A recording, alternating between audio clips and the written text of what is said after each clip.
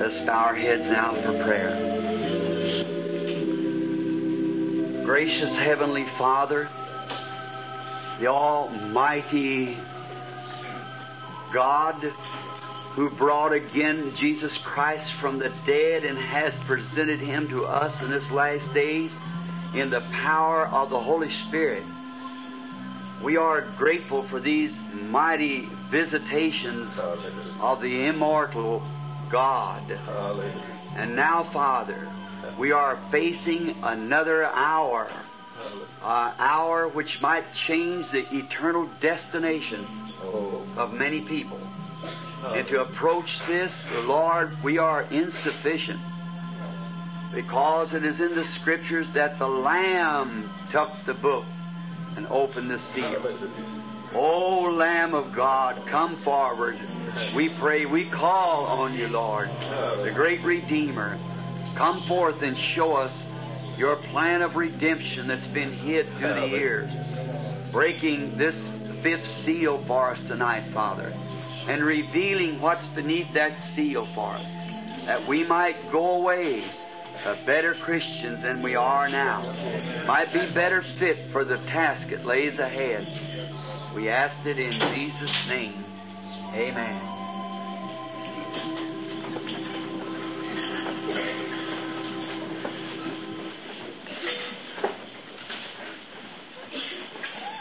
Good evening, friends.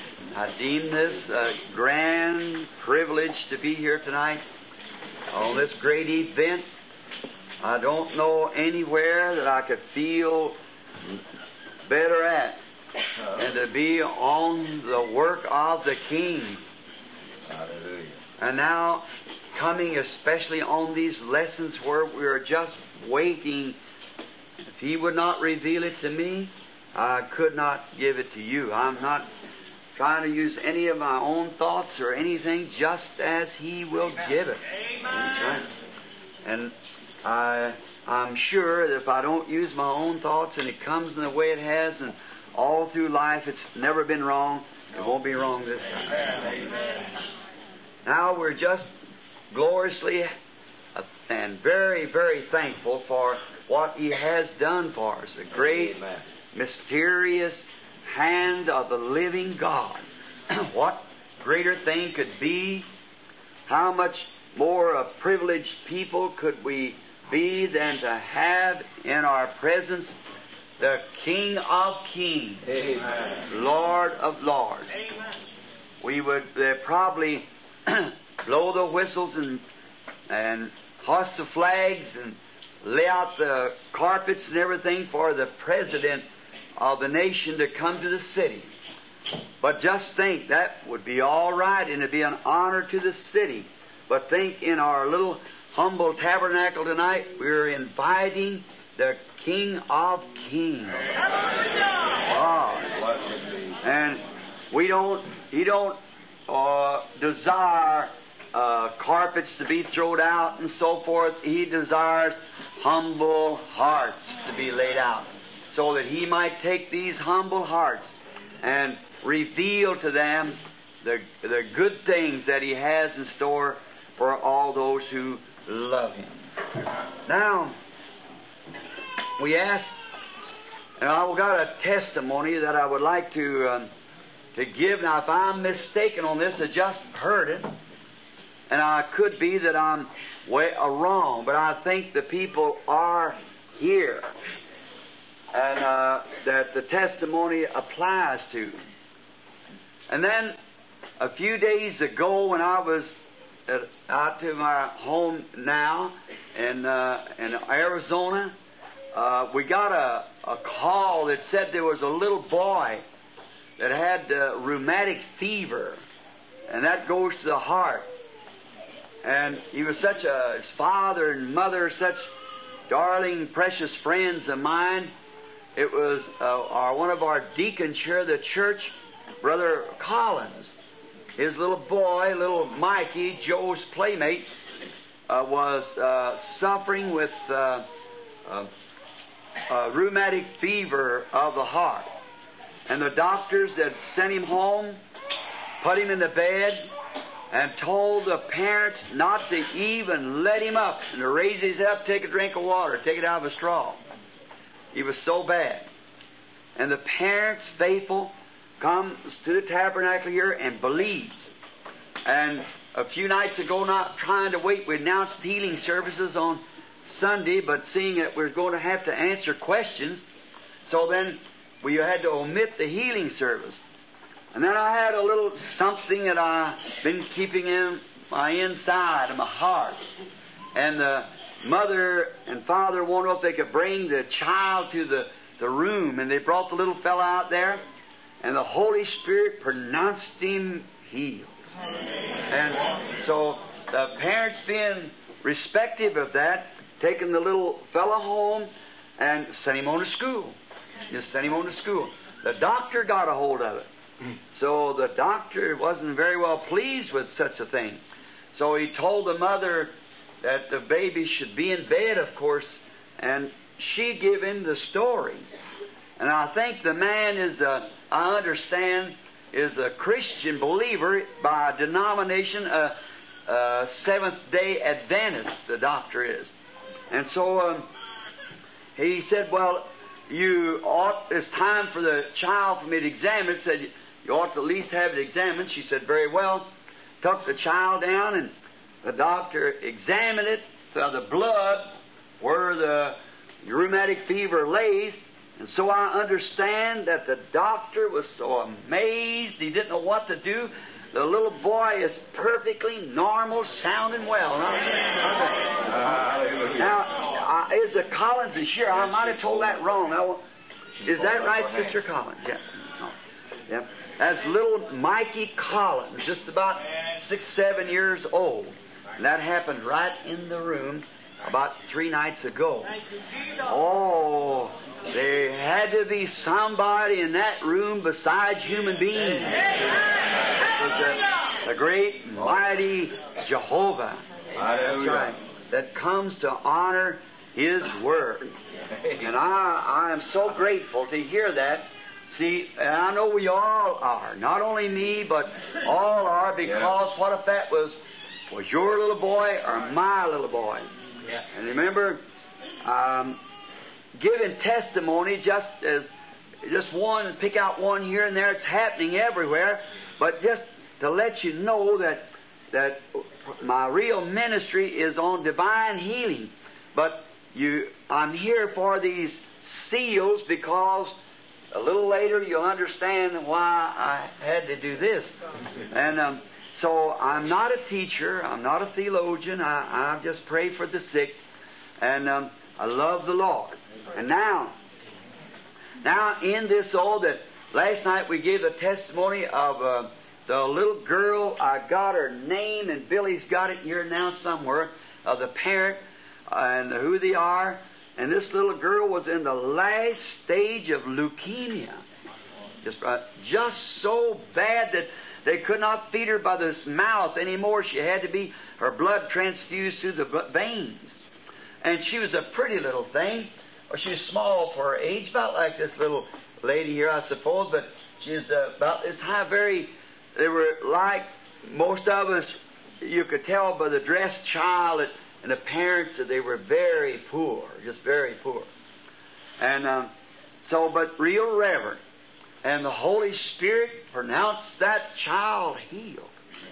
I just think of that with leukemia. That little fella, and the blood was so bad they couldn't even feed it through the mouth no more. It had to take go to the hospital and take the blood uh, for transfusions through the veins, feed it. I guess glucose or whatever. I don't know what medical terms does for that disease, but however, it had to be fed that way. And before the child left the place, cried for a hamburger. And the parents, after they'd heard the Holy Spirit of "Thus saith the Lord," see, Hallelujah. they and them strangers never was around before, but they uh, a dandy old couple had just got their seats here for them a few minutes ago. Brother and sister Kidd had instructed them on what to do and what to listen for, and the child he his meals on the road home, two or three days at that in school, and we went to the doctor, and the doctor was so amazed. He said, "There's not even one trace of leukemia found in the child." Uh, that's instantaneously uh, on the mark, the power of Almighty God to take a bloodstream and cleanse it out right like that and put the pulsation of, of new life back in there because your, your bloodstream is your life, mark. And to create new cells and clean out the old and, and uh, uh, if what it is, it is absolutely I'd say this, it is a creative act of the Almighty God to take a, a bloodstream that's contaminated with cancer until the little fella yellow and puffed out. And within just a few moments' time, a brand new bloodstream. Hallelujah. I believe. I'm not going to speak it in His name. I'm going to speak it in my uh, the revelation of my faith. What happened in Sabino Canyon the other day? I believe that the hour is approaching when missing limbs will be restored in the glorious power of the Creator. I, I believe if He can make a squirrel up here that has no, here is the man or woman just got a part missing. That's complete animal in itself. Glory. He is God. Hallelujah. I, I love him. Amen. Well, uh, I get started on them subjects, and we just talk on, and the people uh, around the walls and standing in the halls and the rooms and so forth. So I'll get right straight to the message, and I want to say this, and I want to give thanks to Him who is omnipresent, and that today not knowing one thing about that fifth seal, it came in that same mysterious way. This morning, just about an hour before daybreak, uh, when I was out in prayer.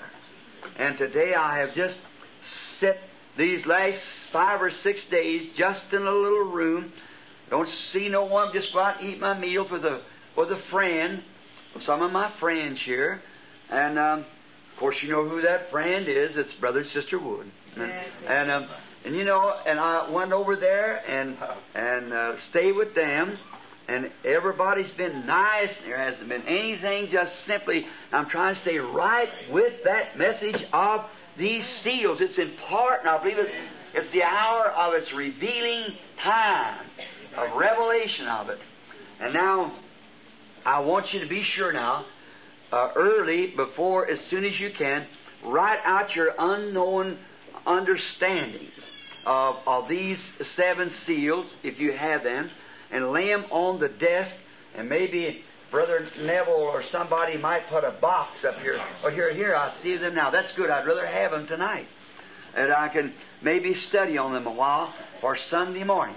Now, uh, uh, don't uh, this time, right at this time, don't make it request for. Say, is the evidence the Holy Ghost this? See, I, I'd like to know about what I've taught about. You see, so we get this one subject like the church ages straight. See, because that's what we're dealing with now. Now, like we go to pray for the sick, then that takes maybe a, a different uh, prayer, and you're anointed, come in for a different thing, you know, and you're seeking God to find out, will there be somebody there tonight, Lord? Yes, it'll be somebody wearing a yellow dress sitting in your right hand corner. And when you call her, call her this and say, thus and thus she's dead, and she has so and so. And you go down there and watch, and there she is. See? There you are. See, it's different. See? This way I'm praying, Lord Jesus, what is the interpretation of this? Reveal it to me. And, uh, Amen. now, let's um, get our our swords out again now, and um, the word. And I appreciate Brother Neville's spiritual support as well as his brotherly love back here behind me, praying for me, and you're all out there also. And now, tonight being Friday night, we'll try just make it as we, you can't possibly hit all the things. Of course, you could take that just one of those seals and stay just just bring it right through the Scripture, right down. See, it take months and months and months, and you still wouldn't have it because the the seal itself ties the entire Scripture from Genesis to Revelation. Amen. One seal of it. So what I try to do is keep from getting way off of it. I'll jot down the Scripture or, or a little note here somewhere, and keep from just keeping on that one thing. I have to watch back because I only speaking. I speak by uh, by way. I I hope it's the right inspiration. And then when I when I look down to see the uh, and, I, and I begin to speak and I feel myself going off on a subject, I turn around, look back the other way to try to get another scripture to get it on that, to see to kind of lighten it up a little on that side instead of trying to go on with that. And so now we're going to study tonight by the grace of God, by His help, the the fifth seal. And it's a short one. It's a little longer than the other. The four horse riders now was uh, two verses apiece, and this is uh, three verses in this one. Now, the fifth seal begins the sixth chapter of Revelations, the ninth verse. And now, if you happen to be a, a stranger that hasn't heard these four horse riders, well, you see, sometimes you, you just drop back and, and kind of tack something, and when you do, you're expecting the people to understand it. So if there's a little something you don't understand, well, just kind of bear a little bit or get the tape and li- listen to it, and, and I'm sure you'll you'll get a blessing from it. I have. I, I hope that you that you do. Now, everybody ready from the ninth verse now uh, to the eleventh, or including the eleventh. And when he had opened the fifth seal, I saw under the altar the souls of them that were slain for the word of God and for the testimony which they held. And they cried with a loud voice, saying, How long, O Lord, holy and true, dost thou judge and avenge our blood on them that dwell on the earth? And white robes were given un, unto every one of them, and it was said unto them that they should rest yet for a little season until their fellow servants also, their brethren, that should be killed as they were, should be fulfilled. Now, this is rather uh, mysterious. And now, uh, for the sake of tapes and clergymen and teachers that's sitting present, now, if you have a different view from this, I did too. But I'm just taking it from the inspiration which completely changed my view of it. And then I find out, as you see these revealed, it's sticking right back and bringing those church ages and the scriptures right together, tying it up. See? And that's the reason that I believe that it comes from God. Now, we uh, realize that, and I am thinking that sometimes that we depend on what some great uh, teacher might have said about it. See? And that's that's all right. I don't condemn the teacher, not by no means, and um, I don't condemn anybody. I just condemn sin, unbelief. Nobody. And some people have said you condemn organization. No, I don't. I, I condemn the system of organization, not the people in there, the group of people that makes the organization, but the system they're governed by. That's what I condemn. Catholic and Protestant, the same. My, I, some of the best friends that, uh, uh, uh, that I know of are Catholics. Just world. Do you realize? And the man may be sitting here tonight, perhaps is the only way that we got this tabernacle built because a Roman Catholic stood on his feet in the court there and went to the front for me and said, boy, like nobody would do. That's right. They couldn't turn it down. That's right. He said they had to figure out too many people. He said, oh, that won't make 80 more in that church like that. So that church is standing there and said, I, I know the pastor and all like that. So that church has been there. So the rest of you can add to it. Then why can't they? A Roman Catholic. Good friend of mine. Yes, sir. Uh, a boy that is a, a Catholic, a real royal friend of mine, was talking to me. Had a certain hardware store before I left. He said, Billy, I know you don't believe in our system of religion. He said, but I'm telling you right now, I said, God has honored your prayers so much for us. I believe if you get in trouble anywhere in the nation, that every Catholic in the country come to you. so, you see, that's, he said every crossback, he called it. I'm going to tell it this way he did. Of course, they claim to be that because the early Christians packed crosses on their backs. We know that by history. And they claim to be the early Christian, which they were. But the system has got them off of that path, you see. And them people, a Catholic or Jew or whatever it is, they're a human being off the same tree that we come from. See? That's right. There are, there are people who love and eat and drink and sleep and uh, just like anybody else. And so we must never condemn individuals. No, no one. See, but we mustn't condemn individuals. But as a minister, I have to strike that serpent out there that's biting into those people. You see, and um, I don't. I don't even. Me and myself, I wouldn't do that if it wasn't a commission from God that I'm duty bound to do it. See, Amen. and I must hold that true and faithful. But if a Catholic Jew or whatever he was come here, if he's a Mohammedan, Greek, or Orthodox or whatever he might be, if he come here to be prayed for, I'd pray just as sincerely for him as I would for my own. That's right. Certainly, because it's a human being. I've prayed for Buddhas and Sikhs, Jains, Mohammedans, and, and every kind, see, like that. And I don't ask them no questions. I just pray for them because there's somebody, human being, that wants to get well and try to make life a little easier along the road for them. Now, we realize that in this, and many of you here, I know there's at least two or three real scholars sitting here. And, um, and they're smart, read out of, of other men's uh, doctrines on this subject. And I want these brethren to know that I, I'm not condemning these men. I'm only expressing what the Lord shows me. That's all I do.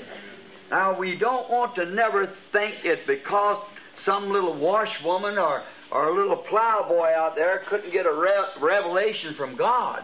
Because, you see, it God, uh, He uh, actually reveals Himself in simplicity. That's we had that Sunday to start this off on. How He reveals Himself in His simplicity. Uh, that's what makes Him great. Now let, let me just let me re- review that just for a minute. What makes God great is because He can make Himself so simple. That's what makes Him great. God is great and can make Himself in such a simple form that the wise of this world can't find Him. They just can't find Him because He makes Himself too simple. Now what? And this in itself is the mystery of the revelation of Jesus Christ. See? This in itself, that, uh, uh, that there can be nothing greater than God. Amen. And you can't make anything as simple as He makes Himself. Amen. See? That's what makes Him great. See? Now, a great man, he just could get a little greater and maybe he stoop down and say, How do you do to you? See, or something like that. But he can't make himself little. There's just something about him. He's a human. He just can't make himself little. When he gets to get down too small, then the first thing you know, he's got to refer to what somebody else did and like that, and then he starts pulling himself back up again, see? But the way up is down in God. Yes. The wise of the world is trying in their wisdom to find him. They only climb away from him in doing so. See?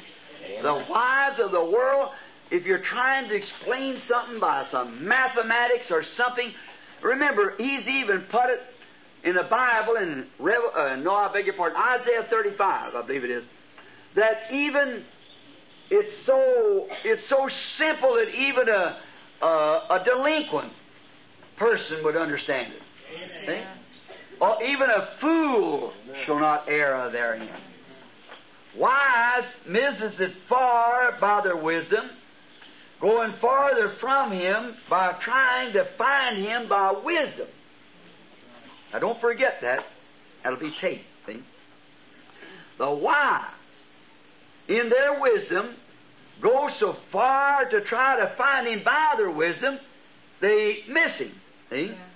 If they could be big enough to be simple enough, they could find Him. if you're big enough to get simple enough, see? that and you know that that really is the truth. I've went into people in their offices uh, and so forth that were really, well, man, big kings, see? and potentates, monarchs, and usually they were big man. Then I went into places where a guy got a change of clothes, maybe some uh, minister that wanted to argue with me a while, and you you'd think that the world couldn't run without him. See, and that that's just puffed up in the head. See, but a, a big man, a big man sets down and tries to make you think you're the big man. See, see, he can humble himself, and see, God is so great. Though he can humble himself, a place that a human being can't climb down there. That's all. And then they're and they're trying to find him. Oh look, they're trying to find him by sending the boys to school and getting a bachelor of art and degree, and and they're trying to find it by a theological uh, uh, terminology of, of, of, of the Bible and they're trying to find him by educational programs and by organizational programs and by beautifying things and trying to find he's not there at all. That's right. You're just fighting the wind. That's all. You're, you're getting away from it. They could be big enough to be to be uh, simple enough. They could find him in that direction by being simple. But as long as you're going towards wisdom, you're going away from him. Now, let me get that so you won't miss it. As long as you're trying to find God by wisdom, like it was in the Garden of Eden, like it was in the days of Moses, like it was in the days of uh, Noah, like it's been in the days of Christ, in the days of John, in the days of the apostles, and to this day. When you try to figure it out and try to find God by wisdom, you're going farther from Him all the time. Amen. You're trying to understand it. There's no way of doing it. Just accept it. See? Just believe it. Don't try to understand it. I can't understand why it, um, well, a lot of things. Not many things I do understand or can't understand. I can't understand how this young fellow sitting here eats the same food I can, and, and here he is, uh, got a full head of hair. And I ain't got any. I don't understand it. They tell me calcium makes it, and I can't keep my fingernails cut off enough and no hair at all to cut off. I, I don't understand that. As the old saying is, uh, it's not to kind of change the position, the ser- seriousness, but it is seriousness, but I haven't got to the seal yet. How that a black cow can eat green grass and give white milk that churns yellow butter. I, I sure couldn't explain that. see? Of course, you see, each one's a product of the other one, how did that? I can't explain it. Can't explain how two lilies stand or two flowers of the same breed, and one red and the other yellow, and one brown and one blue. I don't understand it. Same sun upon them. Where does the color come from? See? I, I can't explain it. But yet you have to accept it. I just wish that some great theologian would explain to me how this world stands in orbit. I wish you could scientifically throw me a ball in the air turning and let it make the second revolution in the same place. You couldn't do it. And yet this is so perfectly timed till they can tell the eclipse of the sun to the minute 20 years from now. They ain't got a, a watch or a clock or any piece of machinery that's that perfect. And yet it stands there. And then leaning backwards. What if it straightened up a little bit? Amen. Yeah, you just make yourself silly. See? So you see, don't try to get wisdom to understand. Just believe what he says. And the more simple you can get, then there you are. You'll find it. Now, I'm so thankful for that. Thankful that he is has made himself simple. Now, we find the sixth chapter and the ninth verse. Let me start now. And when he had opened the fifth seal, I saw under the altar the souls of them that were slain for the word of God and for the testimony they held. Notice, there is no mention of another beast or a living, living creature to this announcement of the fifth seal.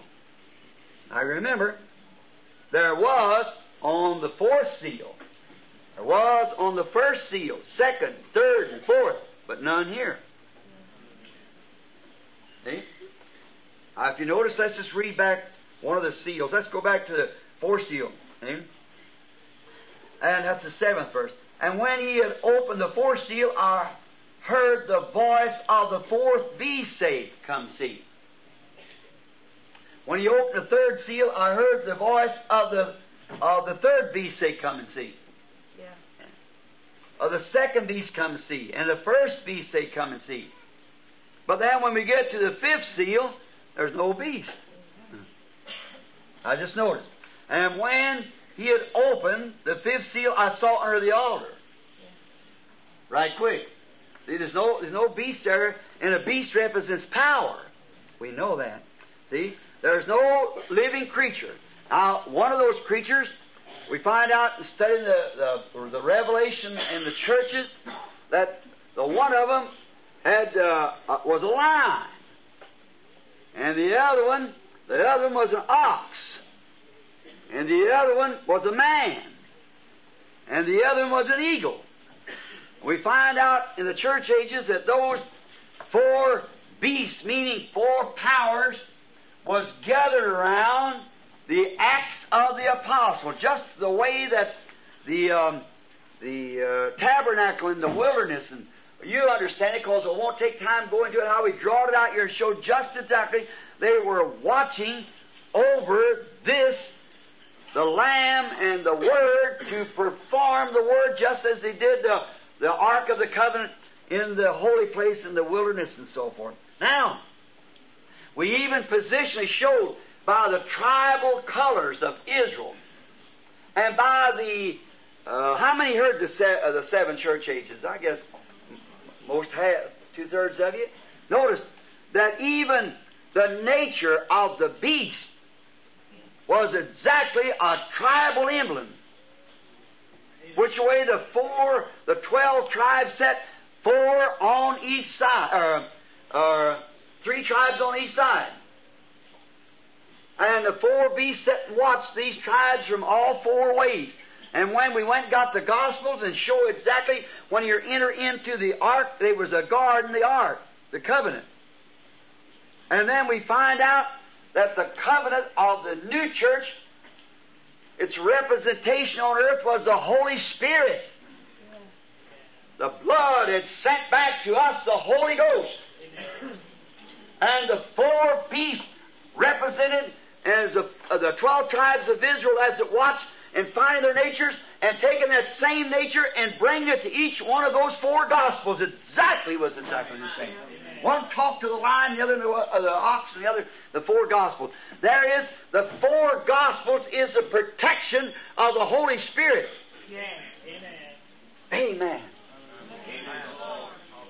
I just always wonder. It's stuck with me now. This is about six years, I guess since I heard a great man say that that was the, uh, the Acts of the Apostles is just a framework. I've heard it said many times, but to hear a man with his status as a preacher and as a teacher that's wrote some of the famous books that the people read everywhere, and to say that the Acts of the Apostles wasn't actually suitable for teaching of the church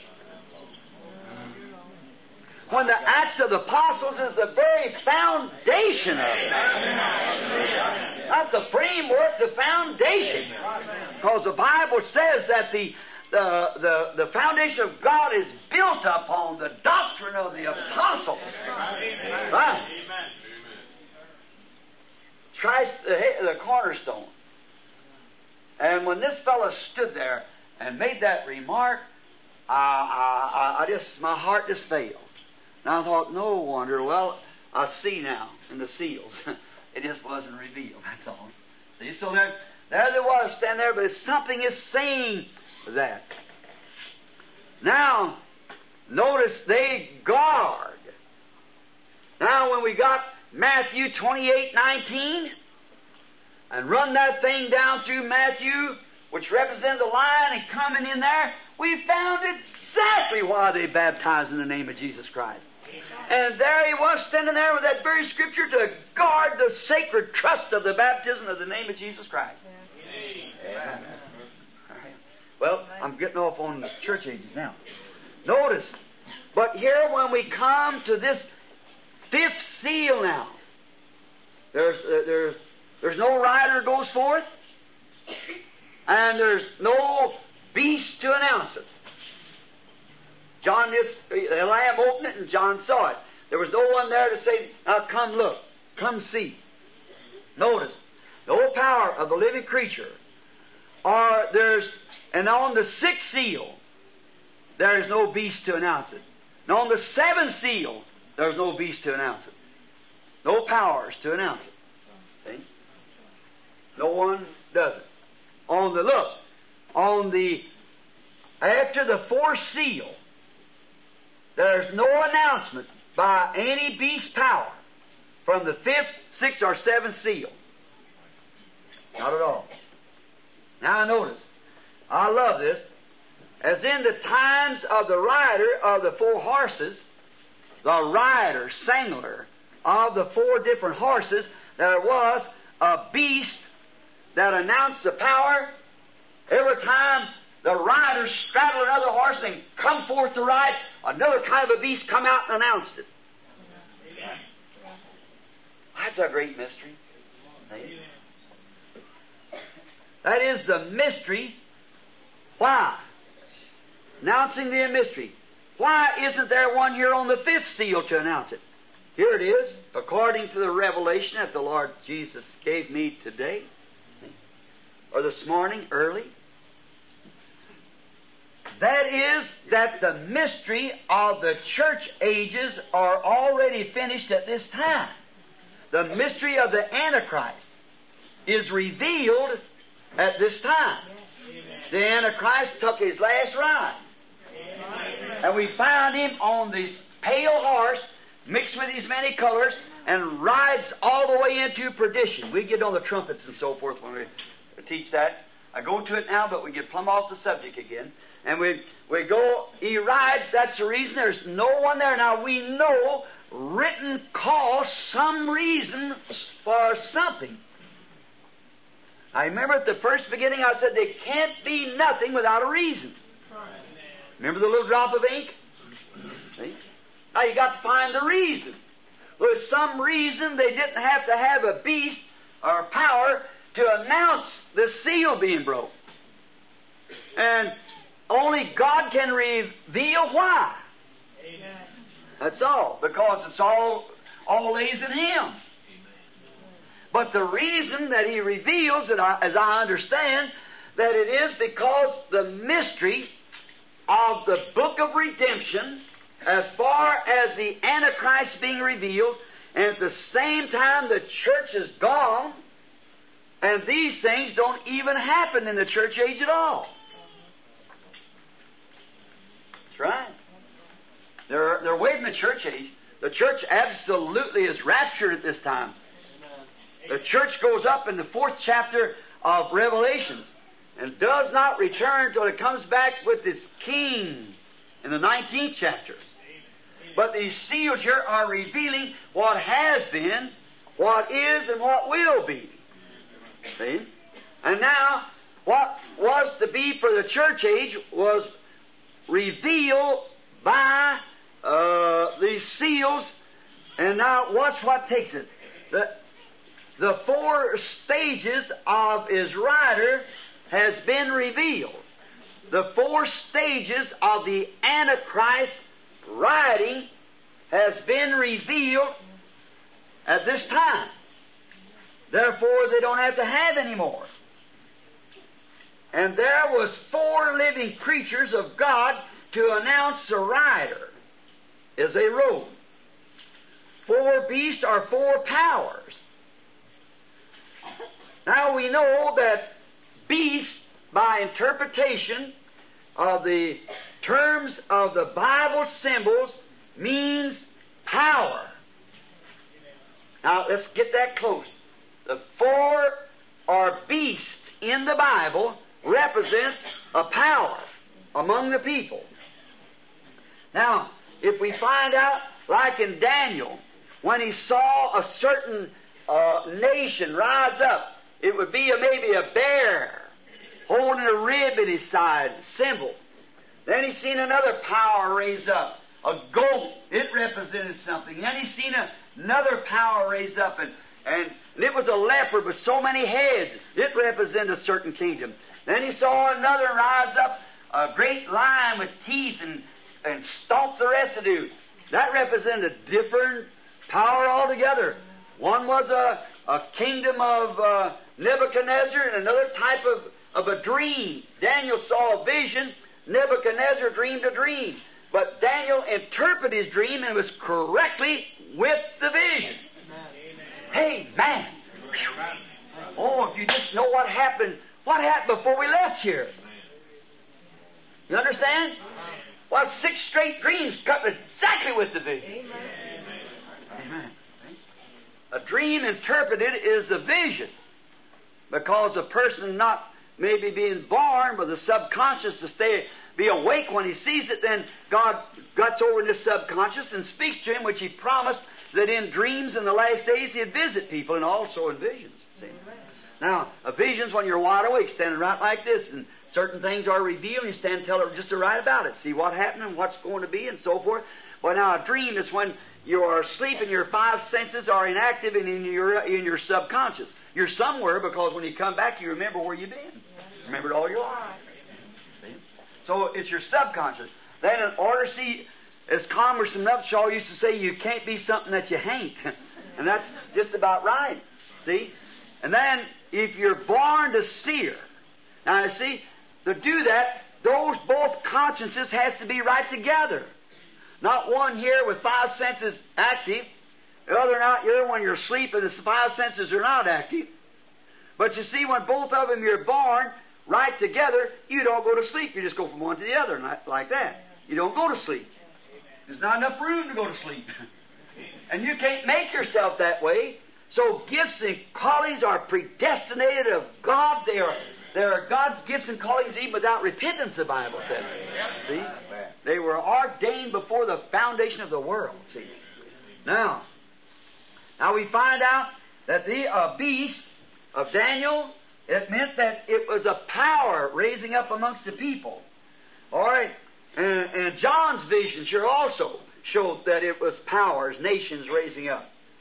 Like the United States appears in Revelation 13 as a lamb. And then, uh, if you want to know a difference, you say, well, that, that's talking about national power. It also represents holy power, too, a beast. Did you know that? Amen. Notice Rebecca, when, uh, when the, the servant of uh, Abraham, Eliezer, when he came to get Becca, Rebecca, she, he mounted her up on a camel, the very camel she watered and she rode this camel to meet her unseen bridegroom. The very thing she watered was the thing that took her to her future home and husband. And it's the same thing today. See? The very thing that the church is watering, that is the seed. The seed of the Word. It's the very Word that becomes alive and carries us to our unseen bridegroom. See? See? And look how perfectly uh, Isaac had left the home and was out in the fields, away from his home, when Rebekah saw him. And the church meets Christ in the air. And then he takes her back into the home, Father's home, where the mansions are prepared. Isaac took Rebekah the same way.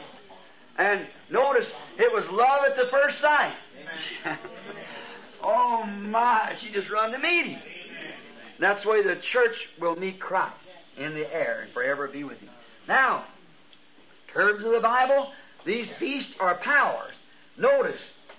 I want now I want you to notice the devil had his four uh, changing colored beasts to go forth on. He had his four beasts that was all three of them put into the color of one and made that one um, a pale horse, a white horse, red horse, black horse, and we've seen each one of those was a stage of his ministry.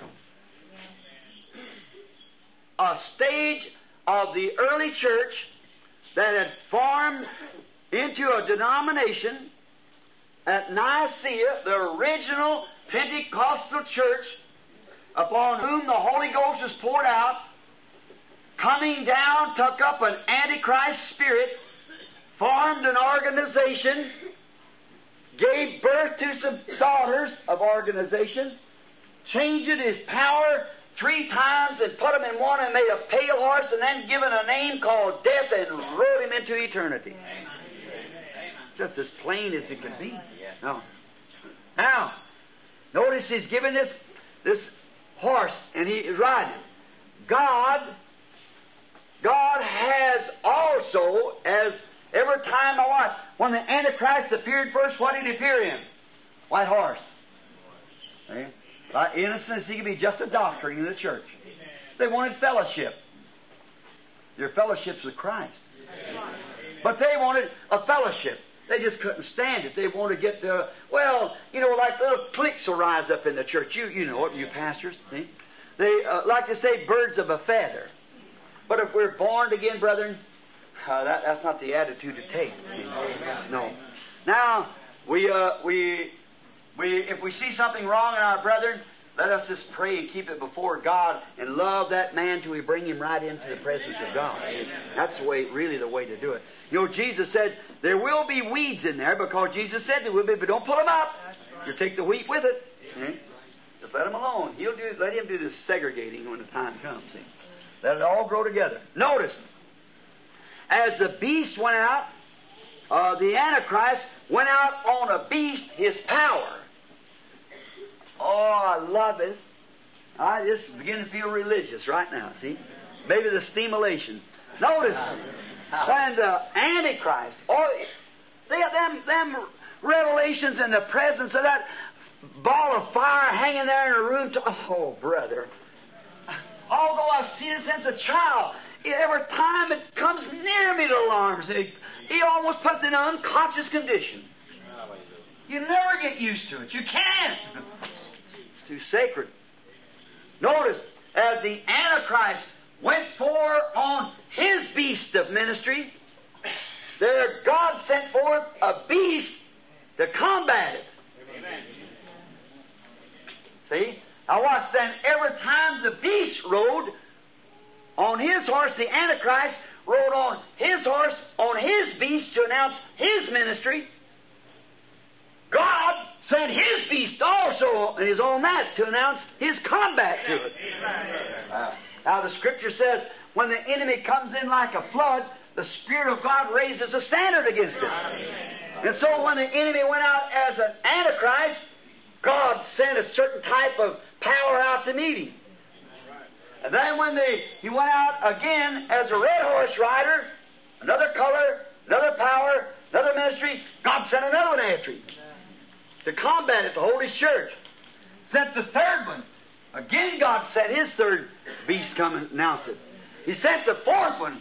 God sent his fourth one. And then the Antichrist in and the church ages ended too at that time. What? Now, oh, this is really good.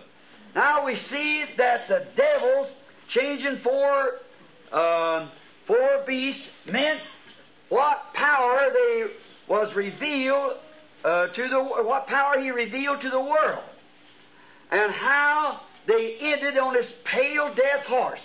Now let's look at God's powers of these beasts to combat them. The first beast of God that he went out to meet the Antichrist with, the Antichrist spirit, when it said it's just his teaching.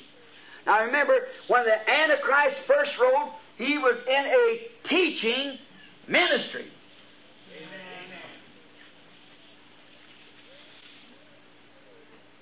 The Antichrist rode first in a teaching ministry. And what's the one that went to meet him?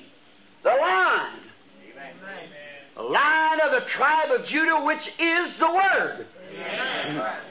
When his false teaching went forth, the true Word went to meet him. Hallelujah. That's the reason we had an Irenaeus and a Polycarp and, uh, and, and, and uh, those fellows, St. Martin. When that Antichrist was riding with his false teaching, God sent his teaching out, the Word, the line of the tribe of Judah, which is the Word made manifest in the Holy Spirit. Hallelujah. And the Holy Spirit there to manifest Himself, which is the Word. That's the reason the early church had healings and miracles and visions and power. Is because it was the living Word in the form of the line of the tribe of Judah riding out to combat that. Amen. Now you got it? He sends His power, Antichrist. God sends His, the Word. Antichrist false teaching. The true teaching went with it to combat it. Now, that was the first one. Now, this was the first church apostolic that went to meet him. Now, the second beast that the Antichrist sent out was a red beast, which was to, that he rode on, was to take uh, peace and from the earth and, and war. Now, the second one that went to combat him was the ox beast. The ox means a labor, a beast of burden. And um, now, if we could just stop this a minute, let me get, let me show you. Be sure to see this. Uh, that's kind of might be a little puzzling to you. But let's get Thyatira over here. Watch and see if it isn't a, a, a, laboring church. You see, and to the angel of the church of Thyatira, write these things saith the Son of God, who his eyes are like the flames of fire, and his feet are like fine brass. I know thy works. See, becoming all works now. See, because that's the, the one who's riding with. And uh, charity and service. See, it's all just and faith and patience and thy works again, twice. Thy works, and the last to be more than the first. See, that shows that the Thyatira age, after the Antichrist got settled down and come into the Thyatira age, the little church could do nothing but just just simply labor. And another thing the ox is uh, also is a beast of sacrifice. See? They give their lives just as freely as they could give them in the dark ages a thousand years there the catholicism controlled the world. And they just went right in yes or no they didn't mind dying if it was death, that's all right. Amen. They went and died anyhow. Why? The very spirit of the age. That's the reason I'm, that's the reason Irenaeus, that's the reason Polycarp, John, Paul, those great mighty men out there combating that thing. Paul saw it. He said, I know that after my departing, if wolves are going to enter in among you, brethren, teaching perverse things, and will draw you away. Look at that stern little old apostle standing there, his back beat full of stripes, his eyes watering, but he could see farther than their, that scope playing it out down there. They see 120 million light years of light space. He could see plumb into eternity. There he was. And he predicted it and said that's what would take place. He said, also went on down to the other age to come. Now notice, there he was. Along after him, St. John lived the longest. And when St. John was trying to take all the sacred epistles, anoint him with the Holy Ghost, and put them together to make the Bible, the Roman Empire caught him and put him on the Isle of Patmos. He was out there on the Isle of Patmos for the Word of God's sake. Polycarp was helping him translate it. I read the other day the letter that Mary herself wrote to Polycarp and uh, upbraiding, uh, not upbraiding him, but commanding him for being a gallant man that who could teach and accept the teaching of Jesus Christ, who was born of her from God. Mary's own note that she had wrote to Polycarp. Polycarp was fed to the lions, you know. No, he's burned. It, it's too late turn a lion loose in the arena. And so they tore down a bathroom and old bathhouse there and put him in, in an arena and, and burned him. And on his road coming down, he's walking with his head down.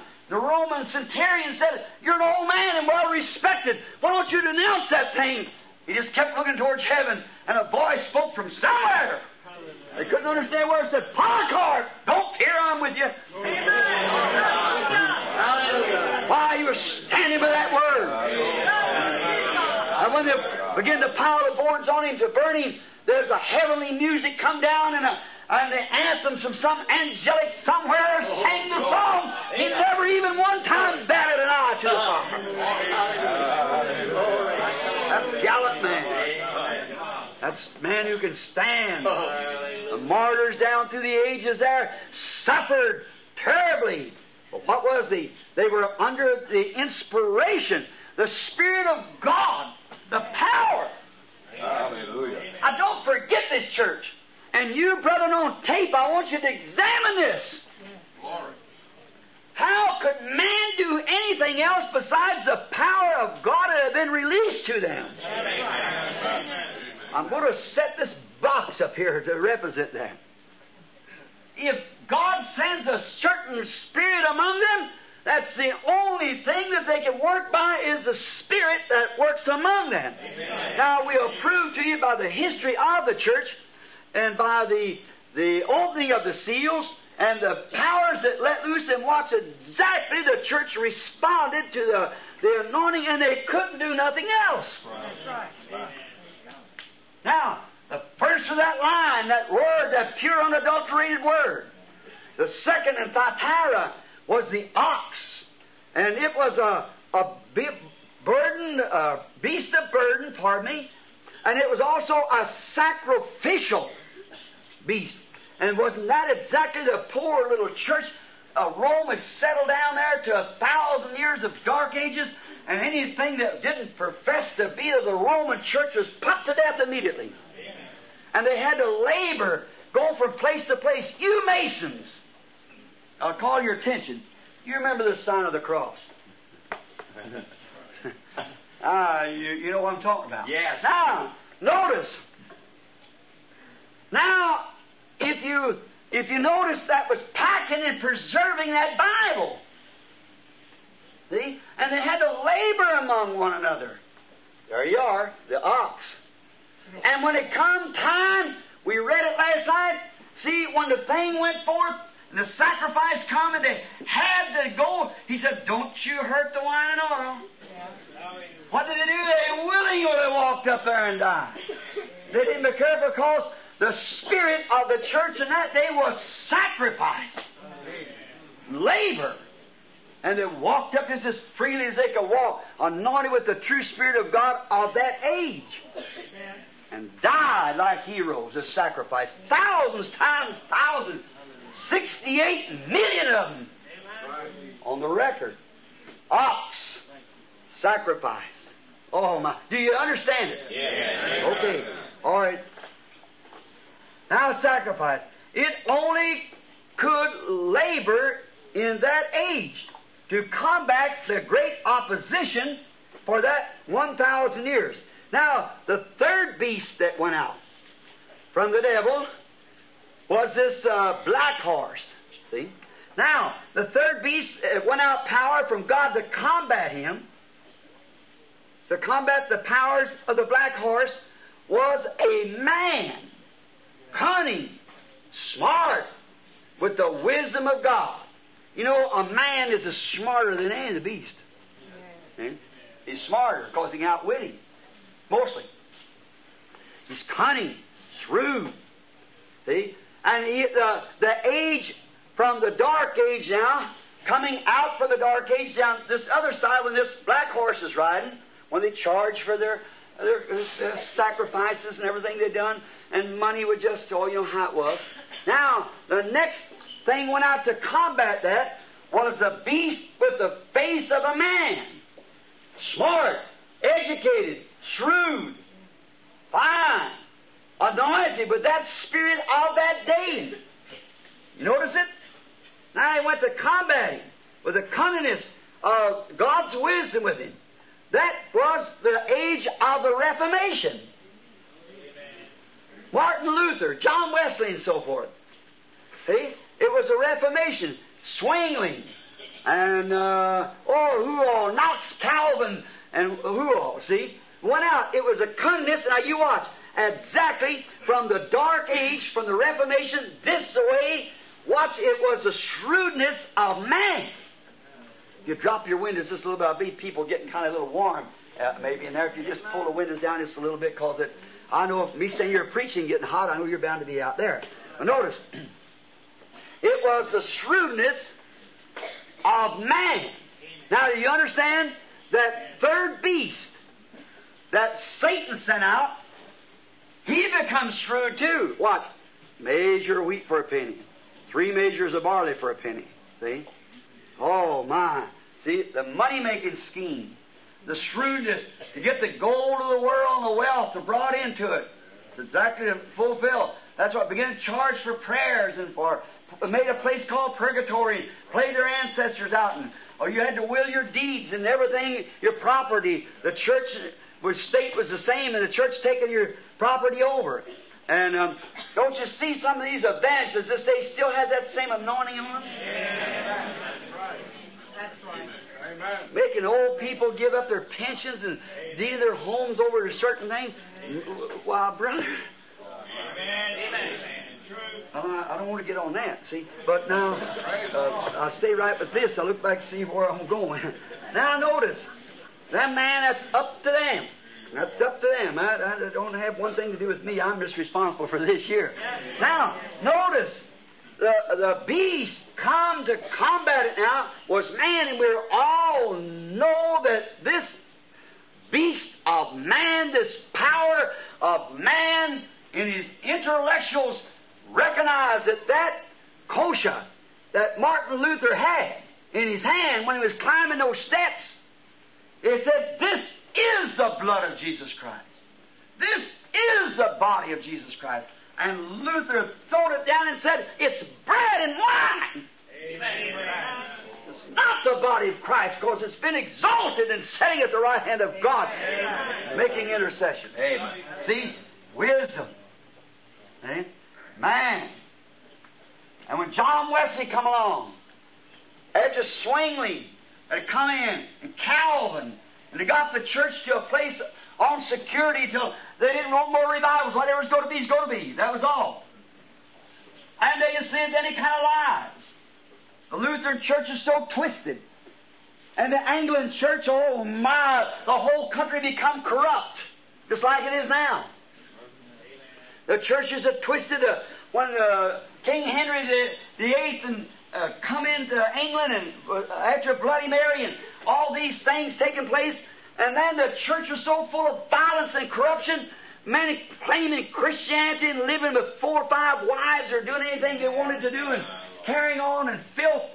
John Wesley studying the Scripture and watching it, it was revealed to him that the blood of Jesus Christ sanctifies the believer.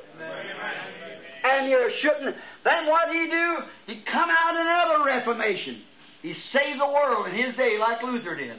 See, what was it? That man beast power going on. Give man wisdom of understanding that the thing is wrong. That isn't the blood of Jesus Christ. That isn't the, the body of Jesus Christ. That represents the body. Yeah. See, that's a still great fuss between Catholic and Protestant now. It's the only thing you can't get together on right now. So everything else they can get together on but that.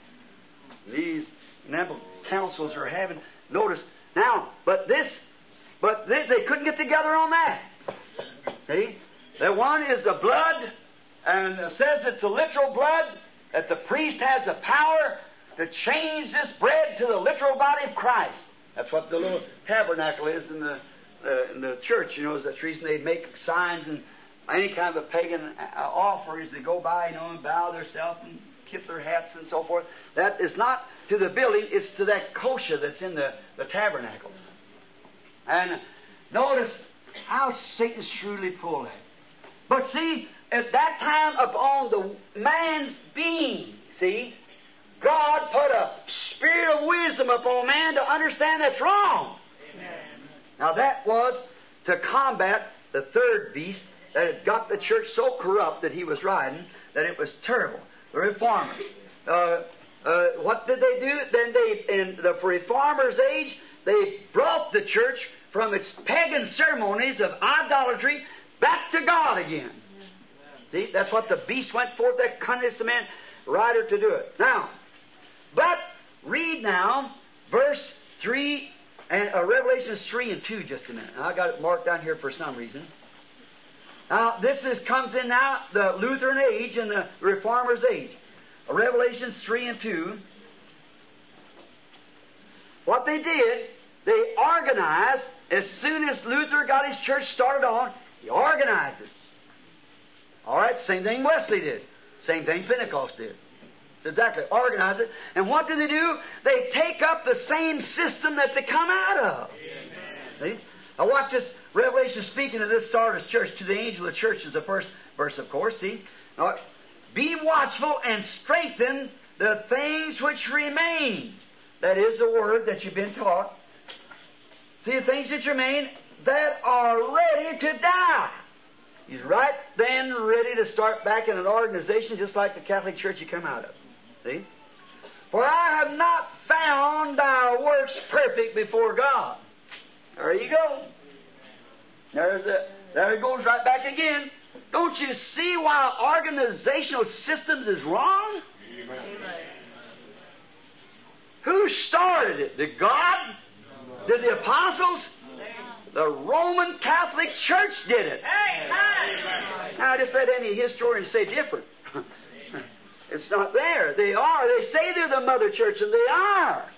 But they organized the thing and put a system with man's head to it. We didn't take one man like they did. We take a whole council of men and put them together. And then you really got a confusion.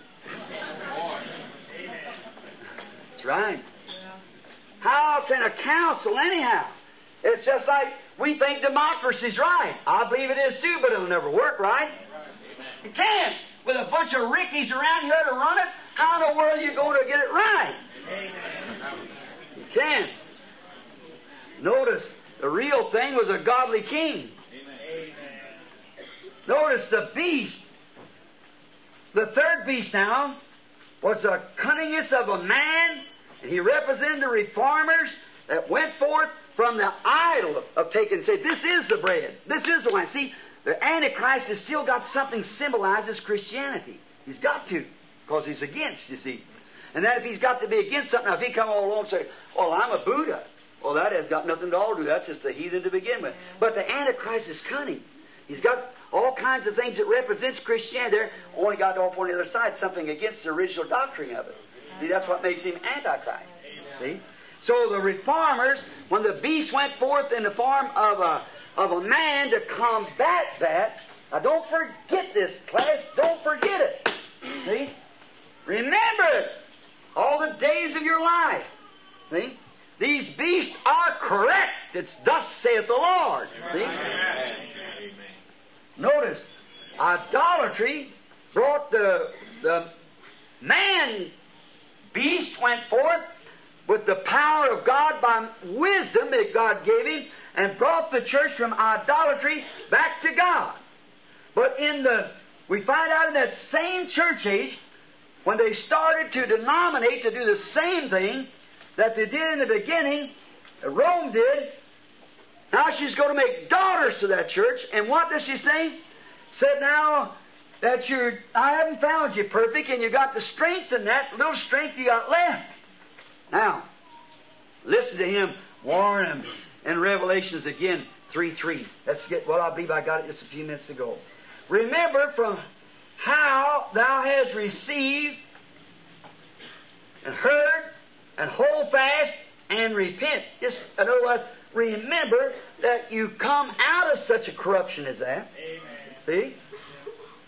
And, look here, if therefore thou shalt not watch, I will come unto thee as a thief. Huh? And thou shalt know, and thou shalt not know what hour I will come upon thee. On down, he's going to move the candlestick, see.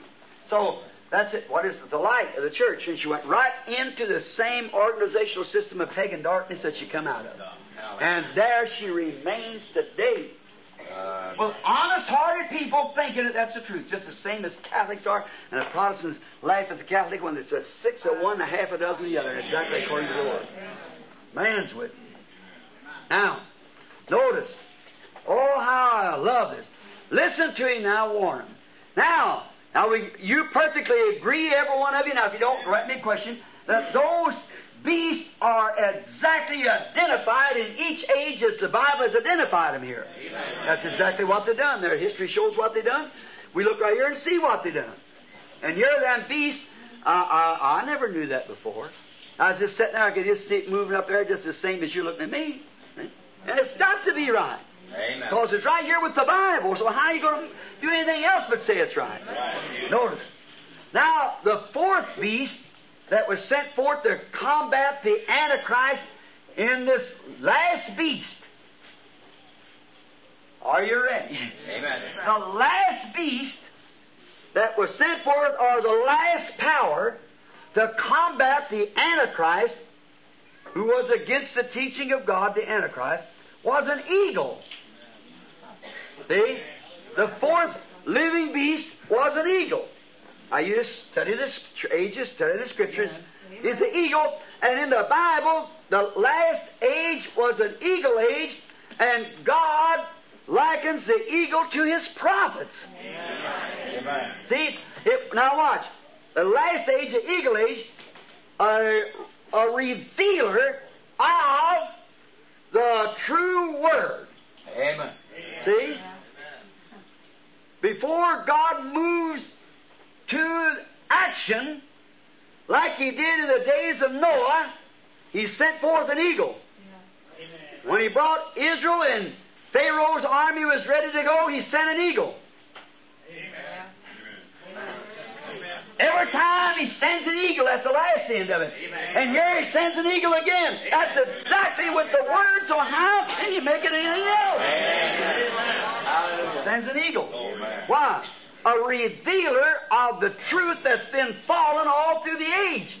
So how in the world could the uh, the ox or the uh, or the uh, man or whatever a beast was riding, how could it ever be revealed until the eagles come?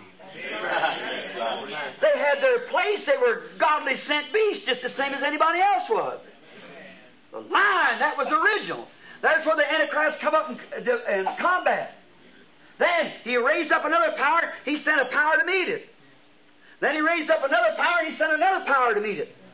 And then the last power, he brings down the eagle to restore the children back to the original faith again. Hallelujah. The eagle age. Then you notice there's no more beast. That's all of it. That's the end. Now, if you would take now Revelations 10 1 7, uh, I've been referring to it. Remember, in the last messenger's age, see, what was to happen? All of the mysteries of God would be revealed. Amen. The eagle. Right. Amen. Now you see the four beasts that rode? That was perfectly right. You believe that? Amen. Right, now here's each age or each power that rode behind it, and there is a scripture that shows what the enemy's rider did. That's been revealed in these seals. And also has been revealed now that each beast power that God sent out to combat it hits exactly on the dot, up to the eagle time. Amen. Now, if this is the last time, there'll come an eagle. Right. And to that, now remember, now in the days that the lion came, the original word, about one hundredth of them listened to the lion. In the days that the uh, the ox came, just a teeny little drop of them listened to the ox message. In the days that the, the man come, he worked among man, you see? So he was shrewd. He got a little group out, and what did he do? Satan seen that, so he just sends them right back and marries them into it. And remember, when the eagle finally comes, it'll be one hundredth of one percent. That'll listen. It's the eagle age. Remember, it's all these other riders. And then even Jesus predicted if he didn't haste his coming, there wouldn't be any flesh at all saved for the rapture. Is that the scripture? Amen. See where we're at then, don't you, brother and sister? Amen. See where we're at? God, I'm so glad. I, I, I don't know what to do. Uh, this is not me standing up here to, to talk. Oh. I'm in here too. I, I'm among you. I- it's me. Amen. I got family. And I got brothers and sisters that I love, and the God of heaven kind enough to come down and, and reveal that thing by His own, by visions that's been proved for 30 years as the truth. We believe. Here, Yes, we believe. we're, we have arrived. Amen. Come. Scientific search has proved it. The vindication of the Word has proved it. And we're here. And this revelation comes from God, and it's the truth. All day. Have you caught anything? I just wondered if you was. Yes, sir. I might not have to tell you. Son, notice, notice, wonderful. Oh. Now, now, notice now. And then, according to the uh, the time that God was going to deliver the antediluvian world, He sent the eagle, and time He's going to deliver Israel, He sent the eagle. Do you believe that the time, even on John on the Isle of Patmos, this message was so perfect that he couldn't trust it with an angel? You know, an angel is a messenger, but do you know the messenger was a prophet? You believe that? Let's prove it. Revelations 22. Let's see if it was an eagle. See, he was uh, a, sure he's an angel, he's a messenger, but it was a prophet that revealed this whole book of Revelations to him. Revelations, the 22nd chapter and the 19th verse. I believe that's right. If I've got it written down here, 2219, I may be wrong. No, uh, 22.9, that's what it is. I was looking at it. 22.9, that's right. Oh, yes, you're. Then said he to me, See thou do it not, for I am of thy fellow servants and of thy brethren, the prophets. Watch what John seen here. I, John, saw these things and heard them. Now he's closing, this is the last chapter. And when I heard and seen, I fell down to worship before the feet of the angel, which showed these things, which showed me these things. And he, then the angel, see, then said he to me, See thou do it not. No true prophet would be worshipped, or messenger of any kind. That's- Amen. Then said he unto me, See thou do it not, for I am thy fellow servant, and of thy brethren, the prophets, and of them that keep the sayings of this book. Worship God. See?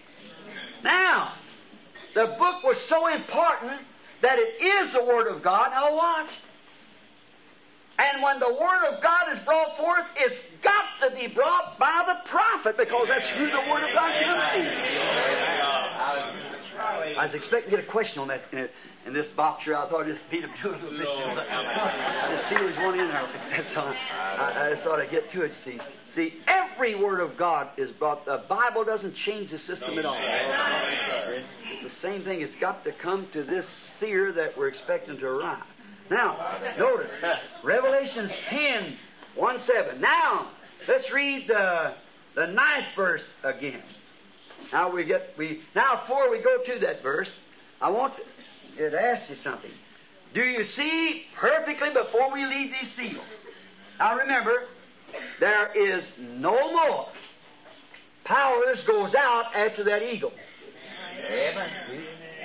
No more. Every time the Antichrist sent forth something, God sent a power. Antichrist sent another power, God sent something to combat it. Then he sent another power, God sent something to combat it. And then when he got down to the eagle, that was his word back like it was in the first place. Now watch. Isn't the prophet that we're looking to come some man anointed with the with the Spirit uh, like Elijah? It won't be Elijah, of course, but it'll be a man like that will come down, and his very ministry Hallelujah. is to send to restore back to this fallen people through Amen. these denominational twists back to the original faith of the fathers. Now, if that don't tie that Bible together, I, I don't know what does. I. I, I Amen. can't say no more about it because that's it. You just arrive. That's the truth. You take anything from there, you twist it. So it, it's just got to be that way. Now, notice, now in the ninth verse, souls under the altar. Now, here's where I'm going to get some real uh, disagreements. No. But I just watch just a minute. and Just see, I thought that too, but it, it didn't come that way. We have, I've always thought that these souls under the altar were the, the, the martyrs of the early church. And I'm sure that, well, Dr. Uriah Smith and every one of them says it is, see? But I thought so myself. But when the Holy Spirit showed the vision to it, it wasn't. It isn't the soul. I, I said, well, I, I don't know about that. Well, now, just a minute, we'll find out. No, these are not the souls of the uh, uh, of the bride church. Not at all. We thought that was the bride church waiting there. Souls are at the altar. You see, crying, How long, Lord? How long? Let me read it again now so we get it right.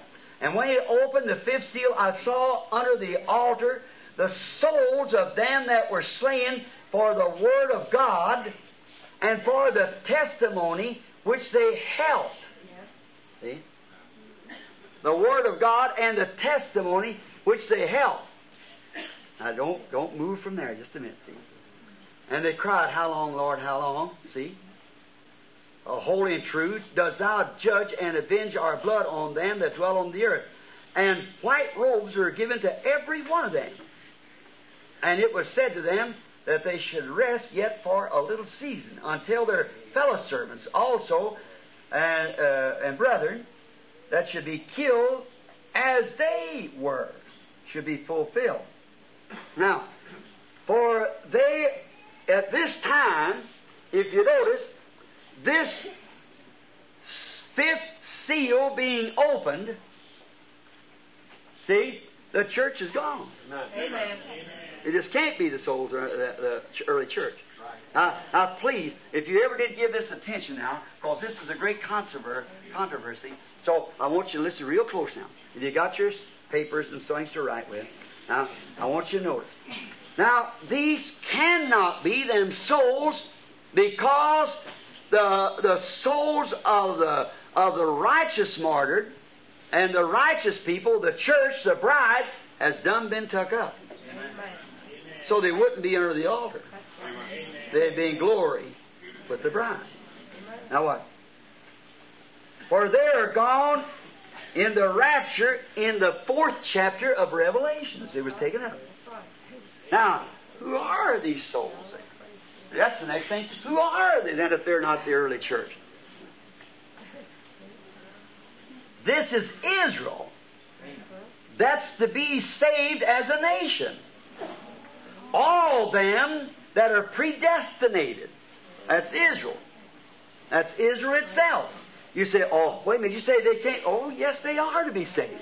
Here, let's settle it just a minute. I got four or five scriptures. I'll take one. Let's take Romans just a minute and find out if they are. Let's take the book of Romans and go to the, the 11th chapter of Romans. And we'll find out. Just Let's just read it and then we'll have it by ourselves. Uh, Romans 11th chapter, the 25th and 26th verse. now listen to Paul here. And Paul said, if anyone else, even an angel, preached any other gospel, what he was to be? Cursed.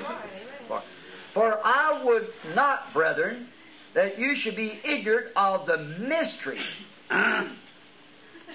lest you should be wise in your own conceit. There you are. The blindness, in part, is happened to Israel until the fulfilling fullness of the Gentiles be come in. The last Gentile bride be brought in for the bride.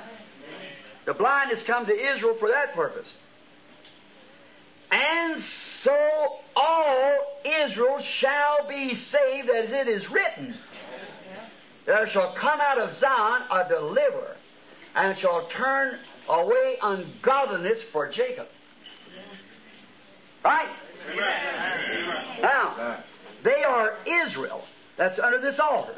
What? Israel was blinded for the very purpose of us being saved. You believe that? Now, who blinded them? God. God blinded His own children. No wonder Jesus standing there at the cross, and them Jews howling for His blood as His own kids. And He was the Scripture. That's right, amen. He was Himself the Word. And here He knowing that those people would have gladly received Him, and that's the reason He blinded them. Yes. So they wouldn't recognize Him. He come in such a humble way and blinded them to it that they wouldn't receive it. See? The Scripture said they'd do it. And He blinded, was blinded. Jesus pitied them. Even so much as He said, Father, forgive them. They don't know what they're doing. They were blind. Paul said they were blinded for a cause, for us. Notice.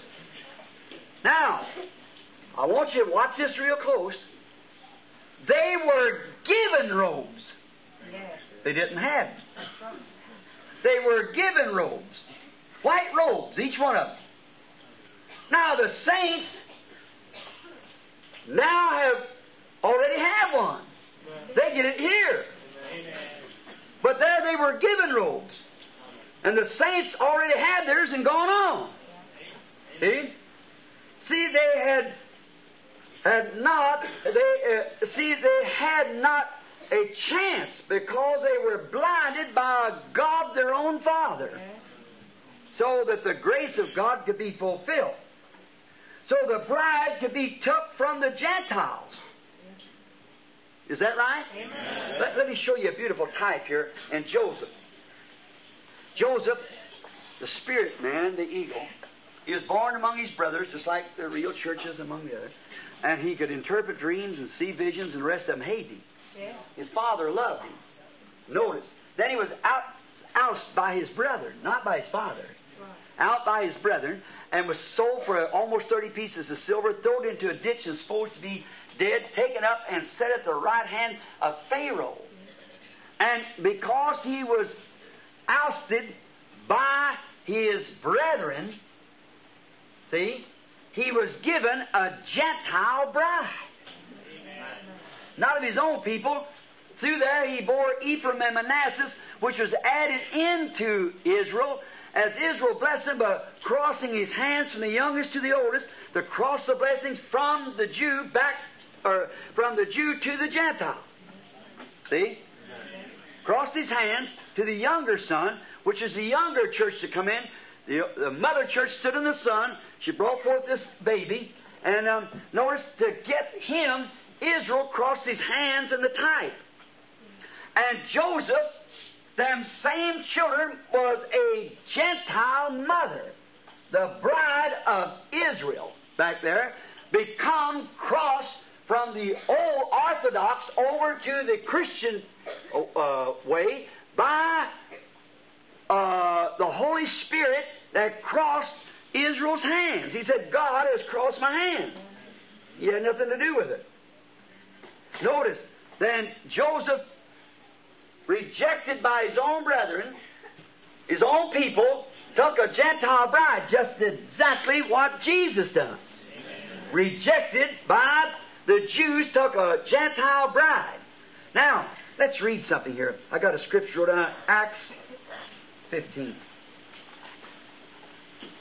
And all this is just kind of it's what we're supposed to teach it anyhow. Uh, uh, now, I believe I have this right. Read Acts 15, 14. All right? I hope this is right now. All right? Simon has declared how God. Let's start the 13th verse. And after they had held their peace, James answered. I see what had happened. They went to the Gentiles. See? And the fuss was on because they were Jews. See? And after they had held their peace, James answered, saying, Man and brethren, hearken unto me. Simon, that's Simon Peter, has declared how God at the first did visit the Gentiles to take out of them a people for his name. See, my wife's name was Broy. When I took her, she was a. See? Jesus takes his church out, or his bride, out of the Gentiles. It's a scripture. Type, just like Joseph was. Now notice this. Now these souls under the altar, uh, uh, the, this, these um, souls, understanding now that's under the altar, why they were martyred by sinful man like Eichmann. Yeah. See, they're holding right on, millions of them. See? But they remain Jews. Now remember, what was it? They were killed for the Word of God's sake, not for the testimony of Christ. Did you understand that? But remember, the church come in, also the martyrs of the church was for the Word of God and the testimony of Jesus Christ. How many knows that? Here, here, here. All right. Now, but these didn't have the testimony of Jesus Christ. For the Word of God and for the testimony which they held. Uh, Jews. And Hitler hated them. So did Eichmann. So did Stalin, all the rest of the world. See? But they stayed true to what they believed. And they killed them because they were Jews.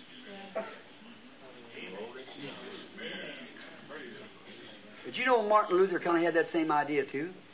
It's the truth. He said all Jews should be taken out. They're antichrist. See? But he was just under another dispensation. Didn't see it. Didn't see the word. Now the word, truth comes forth. How you go to ever blind out Israel? You can't do it. Oh, how could that prophet stand up there that day and say, uh, "You look like a unicorn, Israel"? One they're trying to show him the worst parts of it, he said, "Why?" He said, hey, "Whoever blesses you will be blessed, and whoever curses you will be cursed." Amen. That's right. Amen. Oh. How do you go do it? One time they thought God would forget when the prophet seen that dark thing coming for the Jews, that man standing there and the word of God poured to him. He said, Oh Lord, are you going to forsake your people? He said, What's that laying there by? He says, A measuring stick. He said, How high is it to heaven? Measure. How deep is the sea? He said, I can't do it. He said, Neither can I, neither can I ever forget Israel. Hallelujah. Sir. He ain't going to forget her. He had to blind his own child. Now think of that. Blind his own child to give us a chance and we turn it down. Oh, yes, God. Lord, have. Now don't that make you feel about so little that you could crawl under a concrete block with a Amen. ten gallon hat on and never touch it. Amen. That's right, brother. That's pretty small. you know. Yeah. Amen. Oh my. Yes, they helped for the Word of God. They were Jews. They had their laws. They stayed with it. Remember last night now? They stayed with that. And they were Jews they had the law, and the law was the Word of God. And they stayed right by it. That's right. And for their testimony they held, they were martyred. And here were souls under the altar. After the church had been gone. Now what? They had, in their blindness, martyred their Messiah, and now they were reaping for it. They realized it. They recognized it has gone on. They seen them when they come before the altar of God. But now the grace of God is to them. Watch. Now they could not, by no means, be saints, because it already be robed. But here they are now, just souls under the altar for the Word of God and the testimony they held to being God's people as Jews. But now watch, the grace of God comes to them, and Jesus gives them each one a white robe. Watch, plumb over after the church is gone. Because they were loyal to their cause. And they were blinded and they didn't know it. They didn't know it. They were playing exactly the part that God had ordained from the play. Amen. And here, here, John looks over and sees souls under the altar. Now watch, he sees those souls. Watch what he calls them. They cried, Lord, how long? Watch, just a little while longer. Let's get that as we go down right through the scripture. They realized they'd murdered their Messiah. See? And they didn't know it, and then they realized they got they got murdered back to pay for it. They're doing the wrong. And now, look what a thing they had to do. See, they was guilty of murder, so they got murdered. They, They cried out, His blood be on us! That's right. See? That's right. And they were blinded. Now, if they had been blinded, God said, let them alone. They're not worthy. But then if they was blinded by God, His grace reached down to them. Amen. Talk about amazing grace. Amen.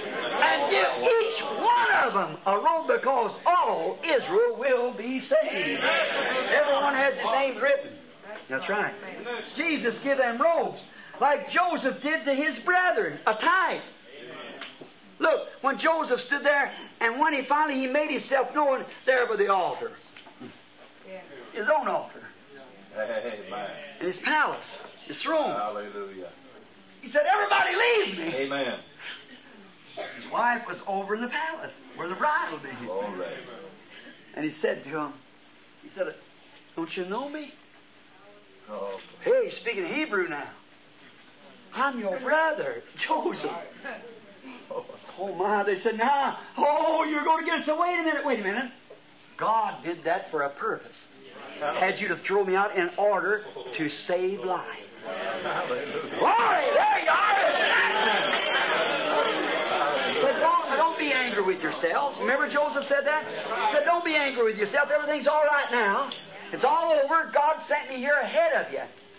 You know, the Bible said they'll say to him when they see him come, say, uh, you're the Messiah, we know. But, but well, what about them scars?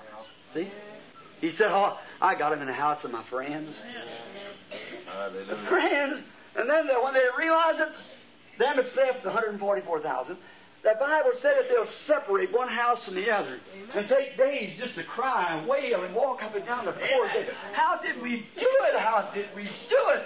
While we crucified our own Messiah. Said, crying like a homewood for its only begotten Son. How did we do it? Them Jews are, they're the most religious people in the world. God's chosen, but He blinded them to take us and we turned it down. Oh, help us, Lord. What is the judgment of the Gentile church? My God. Help. There you are. See? Blinded purposely by God. So that He could get us a bride for Jesus. Take Him out of the. See, and foretyped it and everything. Now you see who the souls are? Oh, my They're not the martyred saints. They done gone. That's right. Notice, they were they've done gone. See, so these are given robes, each one of them.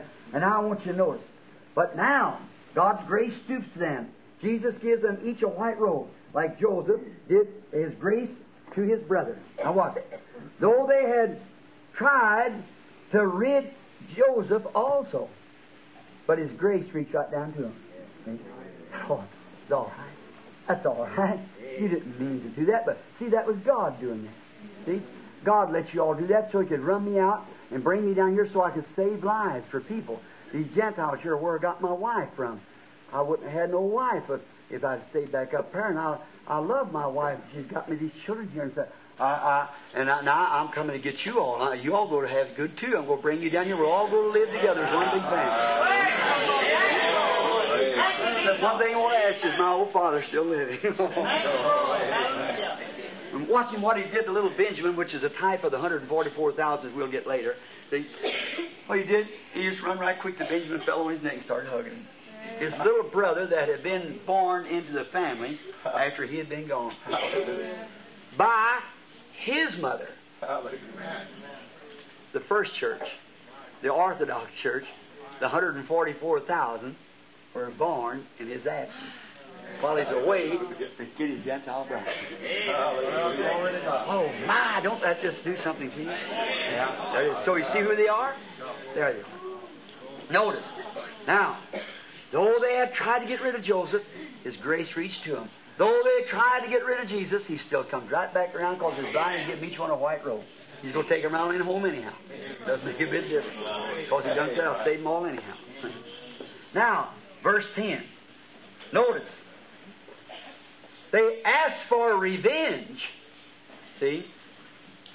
Now, if that had been the bride, it'd been like Stephen's father, forgive them. see? But these are Jews. Let's just come in, see? They asked for revenge.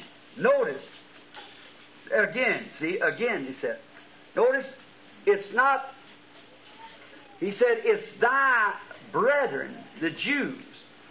The hundred, now they wanted revenge. They said, Oh, we're going to, uh, we, we want you to revenge us down there. He said, Just a little while now, just a little while. For, notice, let me read it here. It's in the, the 10th verse. For, and they cried with a loud voice, saying, How long, O Lord? Holy and true dost thou not judge and avenge our blood on them that dwell on the earth. And white robes were given to every one of them. And it was said unto them that they should rest yet a little season. See? What? A little season. Until their fellow servants. See? Now, what is it? The prophets now are preaching to Israel. See? For thy fellow servants also, thy fellow servants, and also thy brethren that should be killed.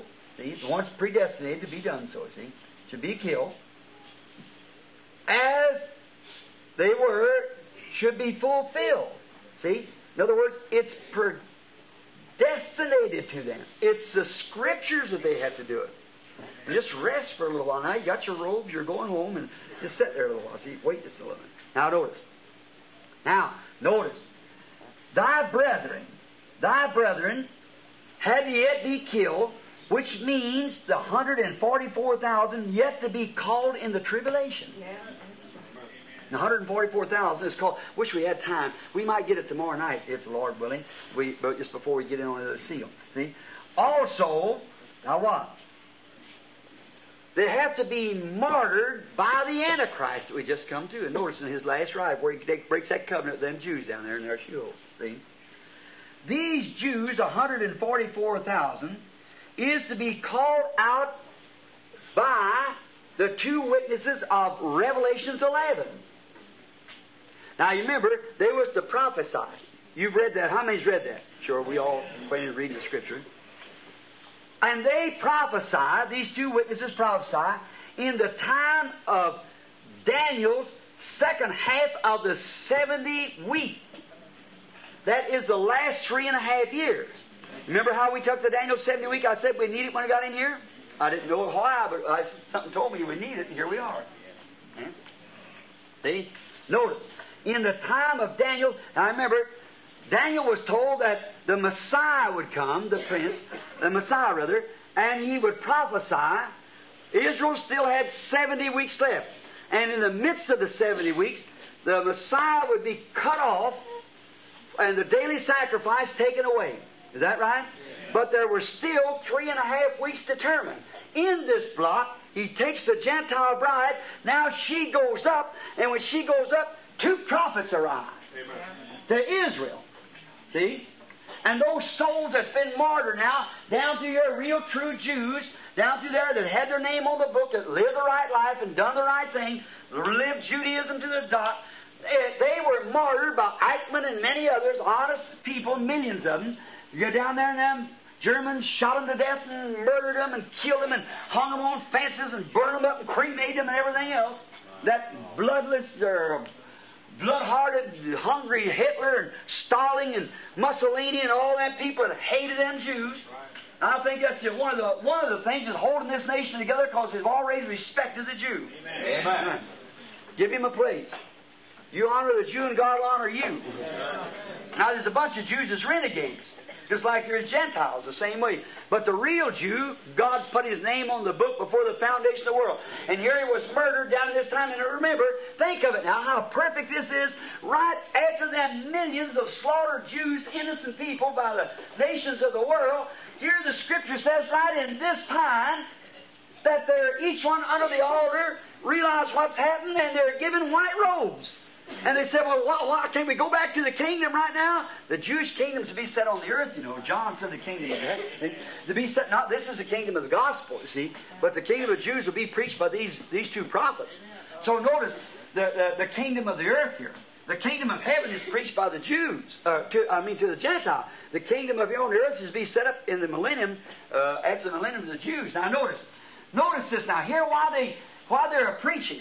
See, before these these prophets ever rise on the scene, these Jews that had to die under Eichmann and them is each one of them that was predestinated is given by grace a white robe. Amen. Each one of them given a white robe. Hallelujah. Notice. Now, what happens? As soon as that takes place, uh, I'm watching that clock back there, and I know we're, we're getting late, but I don't want to see uh, uh, that notion that poor fellow standing there. God help you, brother, and I hope each one of us given a white robe that day. That, standing, changing back and forth with legs are hurting. Somebody worked all day. I know what that is. And uh, look here, and some of the poor little old women stand. I notice some of these men give the women their seats, and somebody else gives some poor little mother with a baby, and I, I, I, I see all that, and I'm sure he does. Notice, but I don't want to keep you too long. If I just get you to see the message, that's all I want you to do. See, now notice these Jews. I have to do this in order to, let you see the revelation of this seal. See what it is. These souls are under the altar, and who they are. Now notice, in the time of Daniel now, the second half of the 70th week. Now remember, Messiah was to be cut off in the midst. That's the middle. Well, what's half of seven? Three and a half. How long did Christ preach? That's right. Now, but there's determined yet to the people what? Another three and a half years. Well, during this time, well, see, what happens is the Gentile bride is selected in the seven church ages and goes up. And when it does that way, all these Jews is martyred along there because of blindness, laying under the altar. God comes over and says, You see what it was? Now I'll give each one of you a robe. They said, How long, Lord, are we going in now? I said, No, no, no, no. Your fellow man, the Jews, has got to suffer a little bit yet. They got to be martyred like you was martyred. The beast has got to get down when he breaks his covenant. Now notice. And now notice. Once now just remember, these prophets are to prophesy according to Revelations 11. You, uh, you raised your hands, you read it, see? And they're given power, and we're going to find out who they are just in a minute, the Lord willing. Now notice who these prophets are. And now, the Bible tells it here. Sure it does, sure. See? Now notice, in the middle of this three and a half weeks now that they're prophesying down here, and the, the Revelation here said, and they they prophesied a thousand three hundred and two score days. If now the regular Jewish calendar, the regular time of God's calendar, is exactly thirty days in a month. The Roman calendar, what makes it up? The regular calendar is thirty days a month. Now, if you want to take 30 days and add three and a half years to it and see how 30 days, you are what you got. 1,203 score days. 1,203 score days. 60 days. Exactly three and one half years. Now you see, there's no mistake to that. There it is, just fits together like a, a dovetail coming together. No, two prophets preached for three and a half years to the Jews. In that is called out the 144,000. And then notice, these two prophets are exactly Moses and Elijah. Amen. Right. Now look, look, their, look at their ministry. Now watch what these prophets do. They have power to smite the earth with a plague as often as they will. Who did it?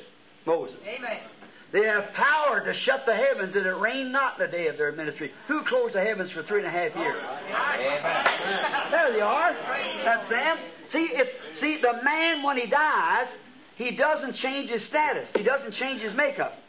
See, look when when before uh, when Saul had backslid and there was no prophets in the land. He couldn't understand what to do. What to do? He was up against it. He was going to battle. He went to the witch of Endor. Now, this is the blood of bulls and goats. She could do this. And she called up the spirit of Samuel. And when Samuel come up, there he stood in his prophet robe. Not only that, but he's still a prophet. Hallelujah. He said, Why'd you call me out of my rest? He said, Seeing you become an enemy to God. He said, But this time tomorrow night you're going to fall in the battle, and this time tomorrow night you'll be with me. And that's exactly what happened. See, not only he was still a prophet, see? And these fellows are still prophets. Oh, Now we're going to get a little deep in that just in a few minutes. Oh my, how I love that word. No wonder man shall not live by bread alone. Every word that proceeds out of the mouth of God.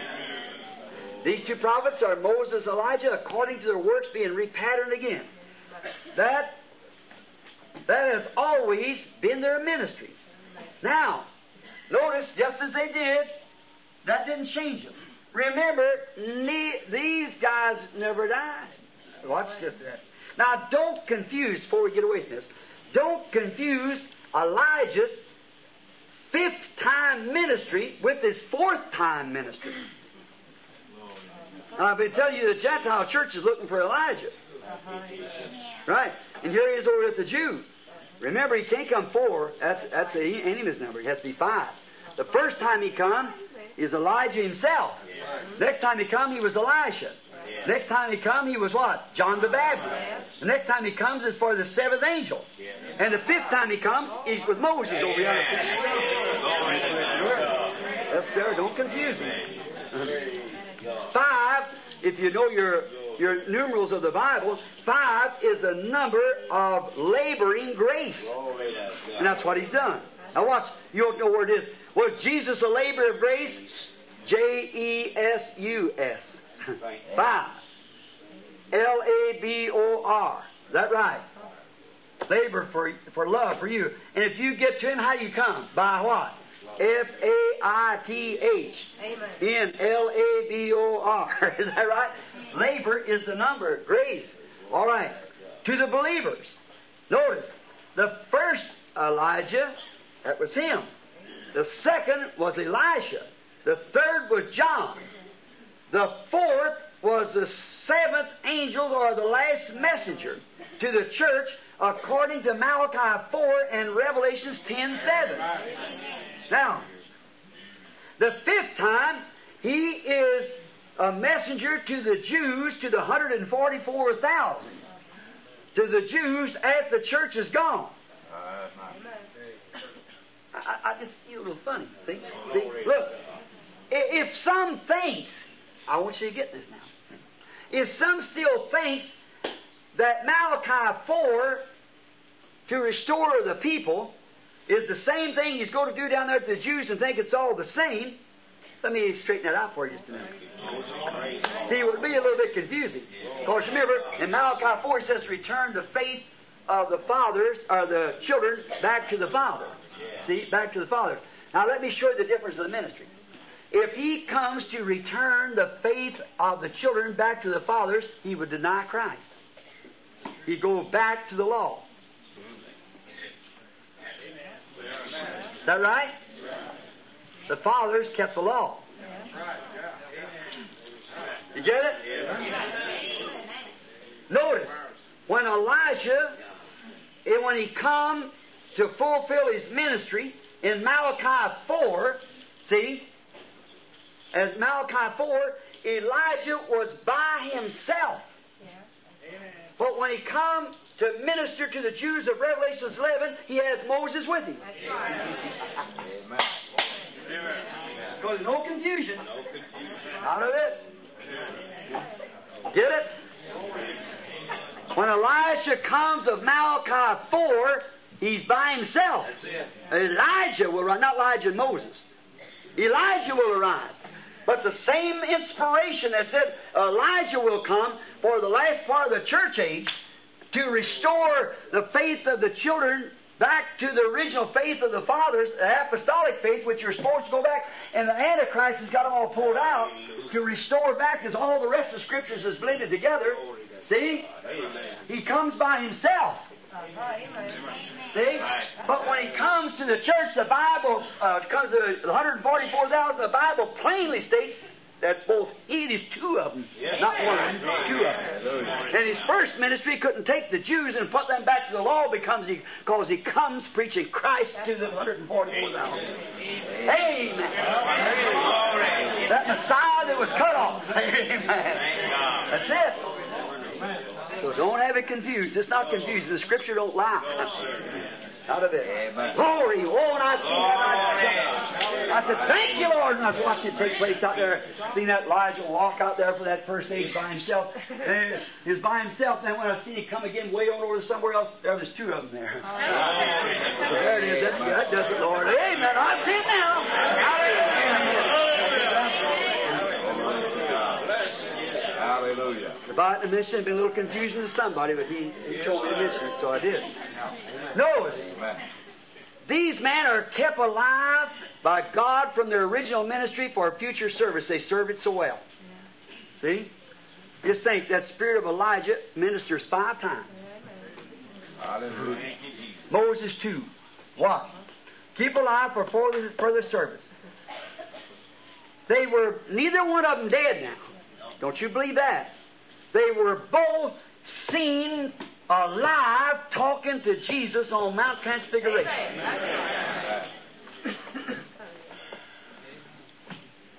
But remember, they must die. Now, now Moses actually died, but he rose because he's a perfect type of Christ.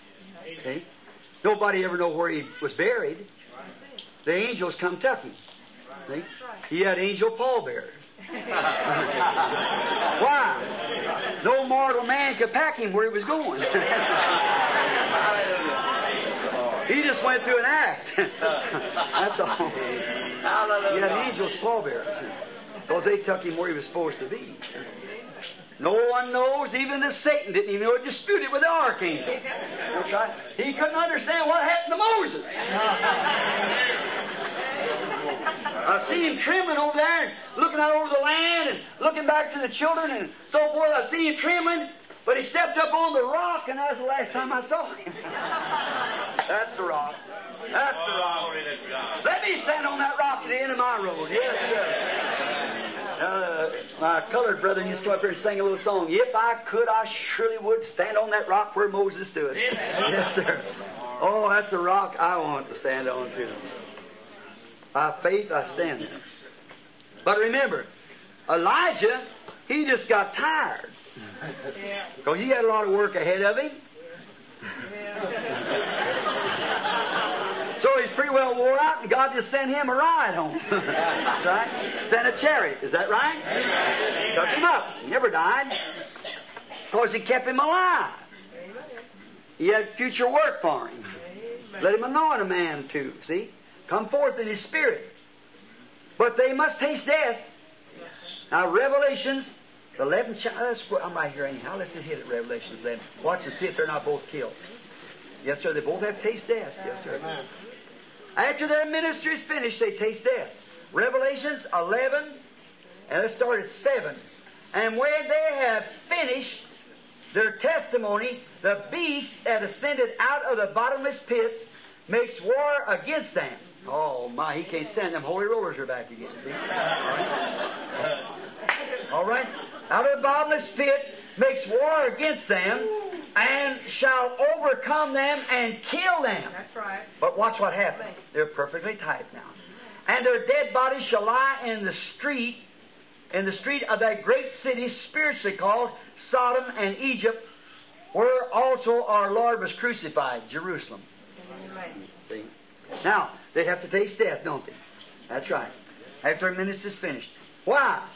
The seventh angel's ministry, the seventh angel's ministry, Elijah's ministry to the seven angels, not why don't, why could not, rather, I'm trying to say, the seventh angel's ministry then be by Moses, if he's immortal? As same as it could be by Elijah. Why don't, why didn't God just send, said, Elijah, you, you don't work so hard, I, everything, all these different places, I, I believe we'll just send Moses down. Why? Look at Moses' ministry. Elijah was a prophet to all nations. But Moses was a lawgiver to the Jews only. Amen. Moses is there and say, well, the reason he come with Elijah, them Jews saying, wait, we still keep the law here. But here stands Moses himself. And Amen. here's Elijah standing with him. See, he comes to the Jews only. See, Moses only went to the Jews. The prophet Elijah was to all nations, but Moses became a prophet to the Jews and a lawgiver. See, that was his message, the law. But what was Elijah's message? The bobbed-haired women, denominations. Yes, sir. Glory. He really tore them to pieces, painted up faces. Told them to be fed to the dogs. He just really tore into them. And then when his spirit come up on John, he stomped right out of the wilderness and done the same thing. Right. Amen. So don't you think that we belong to this or that. God's able these stones to rise children of Abraham. Walked up the road, he said, And you mean to tell me that you married your own brother in law? It's not lawful for you to do it. Oh, brother. He told her. Sure. Notice, these souls are to wait a little season for the 144 to be martyred. Oh, isn't that, isn't that just puts the Bible together? Now, my time's exactly up. Oh. If I let out on early, but I got just a few more little things to say if you stand up. I know it's hot and I'm sweating, but listen, I just got something to tell you. It's just so good. It's just burning right in my heart. I hope you haven't forgotten it. See? Let me say this in the presence of Him. By His grace, He also let me see my people not long ago in white robes. You remember? you remember the story? Not long ago. The Gentile bride. They're there now. They're always in white robes. To. I woke up, I've been on a meeting. It's been about a year ago, a little more. I woke up one morning and I raised up and I said, Sweetheart, to my wife, she didn't move. The kids about have to get up and take them to school, right up here, the old place. Well, I, I raised up in the bed. You know, lean, you know to set up and just lean your head back against the headboard. We got one of the old-fashioned beds, and um, so I just leaned back like that, and I thought, boy, you're already 53. If you're going to do anything for God, you better get doing it, because you're going to be too old after a while. And I thought, you know, that's right. Oh, boy, you know, I ain't very far away. I got to go pretty soon. I said, that's that's a year older than my daddy lived. I thought I got to move away pretty soon. I thought, and here I ain't done nothing for God yet. And I thought I always wanted to do something for Him. And I thought I got to hurry and do it if I'm going to do it, and I don't know how I'm going to do it. That's all. Now, man, I hope I live to see Him coming. I don't want to be a spook, a spirit. I was always afraid of a spirit. And I, you know, that kind of. I always thought like if I meet Brother Neville, and he'd be a little white cloud moving around, you and I'd say, "Hello, Brother Neville," and uh, he'd say, "Hello, Brother Branham," but some other sense he couldn't talk. But I just know that it was Brother Neville. I want to shake his hand like I always do, because that's all I know as human beings. See? I want to shake his hand, but he ain't got no hand. Down there in the grave, rotted away. See? I don't mind. I hope I don't have to go through that. Now, I was, I, I'm going to tell you the truth. I, I was afraid to die. Not afraid I'd be lost, but I didn't want to be a spirit. I wanted to remain a man. I want to wait for the rapture. See? I just want to stay like that. I didn't want to be no spirit. Lord, I was laying there thinking that, and all at once there was something happened. Now, you know, and all of you are acquainted of the visions. And if this was a vision, I never had one like it. And I've had them since I was a little bitty boy. And uh, all at once something happened, and I felt myself leaving. I thought, uh-oh. And I, I thought, I, I've already died, see? And I'm, I'm going on, see? And I got to a place, and I thought, I believe I'll look back. It's just as real friends as I'm standing right here. And I turned around to look back, and there I was laying on the bed. And I stretched out, laying by the side of my wife. I thought, well, it's probably a heart attack, see? I thought, well, see, I just died instantly. which should be a fine way of going. So I thought, that's a heart attack. I didn't have to suffer. I looked, I thought, well, now that's strange. There I lay right there, and here I stand here. So I turned. It looked like a great big, uh, uh, like a great big uh, field, like or something. This great spreading field of bluegrass. And I said, uh, well, I wonder what this is. And all of a sudden, as I looked, here come thousands times thousands of young women, all in white robes, hair hanging down to their waist, Yeah. barefooted. And they were running right towards me. I thought, now, what's this? I turned around and looked back there, and there I was, and looked up this way. There they come. I bit my finger. I, I, I, I'm not asleep exactly, but I could feel, and I said, well, something here funny. And these women all come running. And I never seen such pretty women. And they all look around to me. And when they run to me, you know how I've been kind of. They call me a woman hater, but I'm not. See, but uh, I, I just think a good woman is a one that is a jewel. But I think one that is no good is, as Solomon says, water your blood. So I certainly ain't got no use for for ill-famed women or smart alecks. And so these women all come and start throwing their arm around. Now that's unusual. I wouldn't stand for that. So, and they were now. I'm going to have to say this in a way that um, I'm a mixed crowd, but they were they were women. They were women, and they they hugged me. Each one and said, "Our, precious brother," and one would hug me, and then the other one would hug me. I standing there looking. I thought, "Well, now what's this?" See. And this down there, and I thought, what's happened? I looked back down there, I was laying right down there. And here I was standing here. I thought, now that's odd. I, I don't understand it. And then women holler, oh, our precious brother, and hugging me. Now, they was every bit in feeling women. Now, forgive me, sisters, as I say this, because, uh, but you listen to your doctor. And if we ain't got clean minds, then we're not Christians. And I don't care. I've always lived clean. God knows that. When I was a little boy, the angel Lord told me to not defile my body, smoke, or drink, and that's been truth. By the grace of God, I've kept that. When I was a sinner, I didn't run around with women. And so, but any man that lets a woman hug up into his arms, him being made up of cells of male and her of females, there's a sensation. I don't care who you are, and I don't tell me you're not, if you're a healthy person, but not there. Because you don't have any more different cells. You'll never sin there. There was a change. There's no more than just a brotherly love to them women.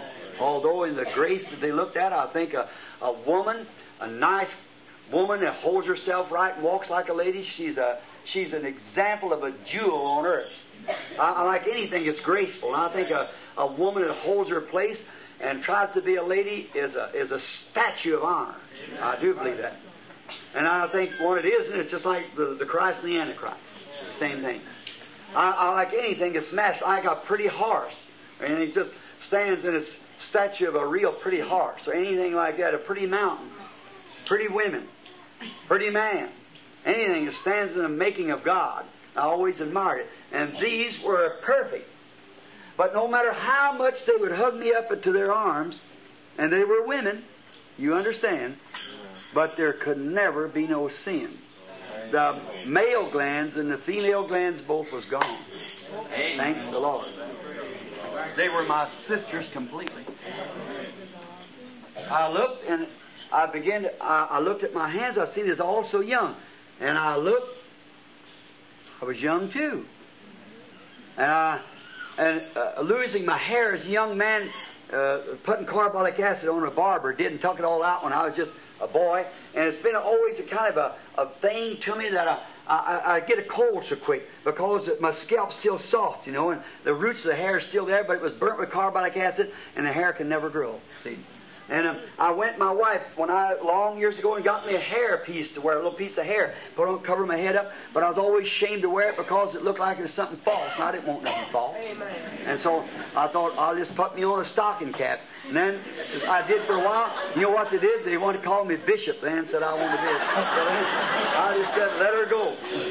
So I just suffer out the bad cold and let it. But I used just raising them windows or anything. That little air come right across like that. Boy, I got it. Now I went to a doctor and asked him what did he think. He said, "Well, see, your your pores are open. You're sweating from preaching. That air comes. It, it puts a cold germ up here in the mucus. And it runs down over your throat. Next morning you're hoarse. That's it. And uh, And so, oh my, you fellows that's got hair, you don't know how thankful you should be. And um, uh, that is right, see. And I, I found out then, uh, I'm going to, one of these days, if if I don't get my uh, teeth, I'm going to have to have some of them. and so, or either do without them. So if a fellow, if a fella, well, I wouldn't think it'd be any more for a man if he wanted to, to wear a hairpiece and be for a woman to wear one of these mouses or rats or what they put in their hair like that to make it up. See? But, uh, but of course, uh, if you do it, depends on what you're doing it for. It depends on what you're doing it for. And so, but however, standing there, I felt up, I had my hair again my, I was young, and these all these young. I thought, well, isn't this strange? Here they are, and there's all around. And I looked coming, and I, I seen Hope coming. She, you know, she died at 22. She's still just as pretty as ever. Many of you remember. A big dark eyes. She's German. Her black hair hanging down her back. I thought, now when she gets here, she'll say, she'll say, Bill. I know she will. I know she'll say Bill when she gets here. I was watching every one of these women come and hug me and say, Oh, precious brother, we're so glad to see you. I thought everyone dressed just alike, but they had their hair different, you know, red hair and black hair and blonde hair. And, and uh, they're coming by, but they're all young. And when she got to me, I thought, I'll just go see what she said. And she looked up at me and she said, Oh, our precious brother. She hugged me. And she just went on. Some other woman come, hugged me next. And I heard a noise, and I looked over this way, and here come a bunch of men, young fellows, all in age about 20. They had dark hair and blonde hair, and, and they all had white robes on and barefooted. And they run to me and began to hug me, hollering, precious brother. I thought, and I turned back around, there I was still laying there. And I thought, well, now this is strange. And just then a voice went to talk to me. I never did see the voice. It said, You have been gathered you have been gathered to your people. And then some man picked me up, set me way up on a big high thing like this. I said, Why did you do that? He said, In earth, he was the leader. And I said, Well, I, I don't understand it. And that voice talking to me, I never could see the voice. Now it's just above me talking to me. I said, Well, if I if I have passed on, I want to see Jesus. I said, I, He was so He's all my life. I want to see Him. And uh, so he said, You can't see Him now. He's still higher. See? Is below the altar yet. See, the sixth place where man goes. See? Not the seventh where God is. Seventh dimension, the sixth. And they were and they were all there and they passed by. And I said, uh, looked like there were actually millions of them. I never seen them. And when I sat there, these women and men still running and hugging me, called me brother. And I sat there, and then a voice said, You've been gathered to your people like Jacob was gathered to his people. I said, All these my people? Or all these Branhams? He said, No, they're your converts to Christ. And I looked around, and there's a real pretty woman run up. She looked, it was all about the same. She threw her arm around me and she said, Oh, my precious brother. She looked at me and I thought, My, she looked like an angel. And she passed by, and that boy said, Didn't you recognize her? And I said, No, I didn't recognize her. Said, You led her to Christ when she was past 90, said, You know why she thinks so much of you? I said, That pretty girl was past 90? Yeah, said she can never change no more now. So that's when she's saying, Precious brother. I thought, Oh my. And I was afraid of this. Well, these people are real. Amen. They, they wasn't going anywhere. They wasn't tired being there. And I said, Well, uh, why can't I see Jesus? Said, Well, now, he will, uh, he will come someday. And he'll come to you first. And then you'll be judged. Said, These people are your converts that you've led. And I said, You mean by being a leader uh, uh, uh, he'll judge me? He said, Yes. And I said, Does every leader have to be judged like that? He said, Yes. I said, What about Paul? He said, He'll have to be judged with his. Well, I said, if his group goes in, so will mine, because I preached exactly the same word. I said, were he baptized in Jesus' name? I did too. I preached, and millions screamed out at once, said, we're resting on that. Hallelujah! And I thought, my, if I only knew this before I come here, I'd make people come here. They can't afford to miss this. Why, looky here. And then, and he said, now someday he'll come, and then, now in here we neither eat, drink, or sleep. We're just all one. Well, it isn't perfect. It's beyond perfect. It's not sublime. It's beyond sublime. There's no name can you can't think. There ain't no words in the vocabulary to say it. You've just arrived. That's all. And I thought, well, this this would be perfect. And then what are we going to do next? Said then when Jesus comes, and we're and He judges you or for your ministry, then we go back to earth and take up bodies. Well, I, I never thought about that. That's exactly the scripture. So then we go back to earth and take up bodies. Then we eat. We don't eat here, neither do we sleep. Said we eat down there, but we go back to the earth. I thought, my, isn't this wonderful? Oh my! And I was afraid of it. Why was I afraid of dying to come to this? Well, this is perfection plus perfection plus perfection. Oh, this is wonderful. See, we're right under the altar. Amen. That was it. They're right under the altar, waiting for the coming. Hallelujah. Or we go get the ones that were sleeping in the uh, the, the body, sleeping in the dust, to raise us again. Hallelujah. Come by, raise us up like Jesus come through paradise and brought up Abraham, Isaac, and all them. Know, was waiting the first resurrection. They entered into the city and appeared to many. It's perfectly scriptural. The vision was there, or whatever it was, it was perfectly scriptural. And then I said, "Well, isn't this wonderful?" And then I thought, "Isn't that wonderful?" I heard something nicker, like a horse. And I looked at my little saddle horse that I used to ride, little Prince. I thought so much of him. Here he was standing there by me and put his head over on my shoulder to hug me, like I used to give him sugar, you know. He put his, I put my arm around him. I said, Prince, I knowed you'd be here. I felt something lick my hand. There's my old coon dog. When, when Mr. Short down here poisoned him, I swore I'd kill Mr. Short for it. I was about 16 years old. He poisoned, gave him a dog button, and my daddy caught me with a rifle going down to shoot him right in the police station. And I said, I'll kill him. I said, well, I want to order uh, the dog's grave. Now, I buried him. I said, Fritz, you've been a, like a companion to me. You've clothed me and sent me to school. And when he got old, I was going to take care of you. Now they've killed you. I said, I promise you, Fritz, that he won't live. I said, I promise you he won't live. I'll catch him on the street sometime walking, and then I'll run right over him. See? And I said, I'll get him for you. But you know what? I led the man to Christ, baptized him in Jesus' name, and buried him at his death. I got converted about two years after that. I seen things different then. See, I loved him instead of hating him. So then, uh, but however, there was Fritz down there licking me on the hand, and I, I looked. I couldn't cry. Nobody could cry. It was all joy. You couldn't be sad because it was all happiness. You couldn't die because it was all life. You couldn't get old because it's all youth. Yeah, That's what, it's just perfect. And I thought, oh, isn't this wonderful? And the millions, oh my. I was right home, see? And, um, and just then I heard a voice. And it cried out, said, All that you ever loved, the reward for my service. I don't need no reward. He said, All that you ever loved and all that ever loved you, God has given to you. I said, Praise the Lord. I felt funny. I thought, What's the matter? I feel funny. I turned around and looked, and on the bed, my body was moving. I said, Oh, I don't have to go back. Surely, don't, don't let me go. But the gospel had to be preached. Just a second, I was on the bed again. See, like that. No more than about two months ago. That you heard it read in the, in the businessman's voices went all over the world. See, and Brother Norman in here, I suppose he's in here somewhere tonight. He translated off there and sent it in pamphlets. It went everywhere. Uh, ministers wrote in many of them and said. One here, I tell this very one, has been hundreds of them, of course. This one ran and said, Brother Branham, your vision in the businessman's voice and I appreciate Tommy Nichols, although he isn't with the businessman no more. I don't know why, but he isn't. But he put it in there just right. Where I said, right there in that Trinitarian magazine, he said, where, I, where Paul baptized in Jesus' name and commanded the people to do the same, I've done the same. See, he put it just the way it was.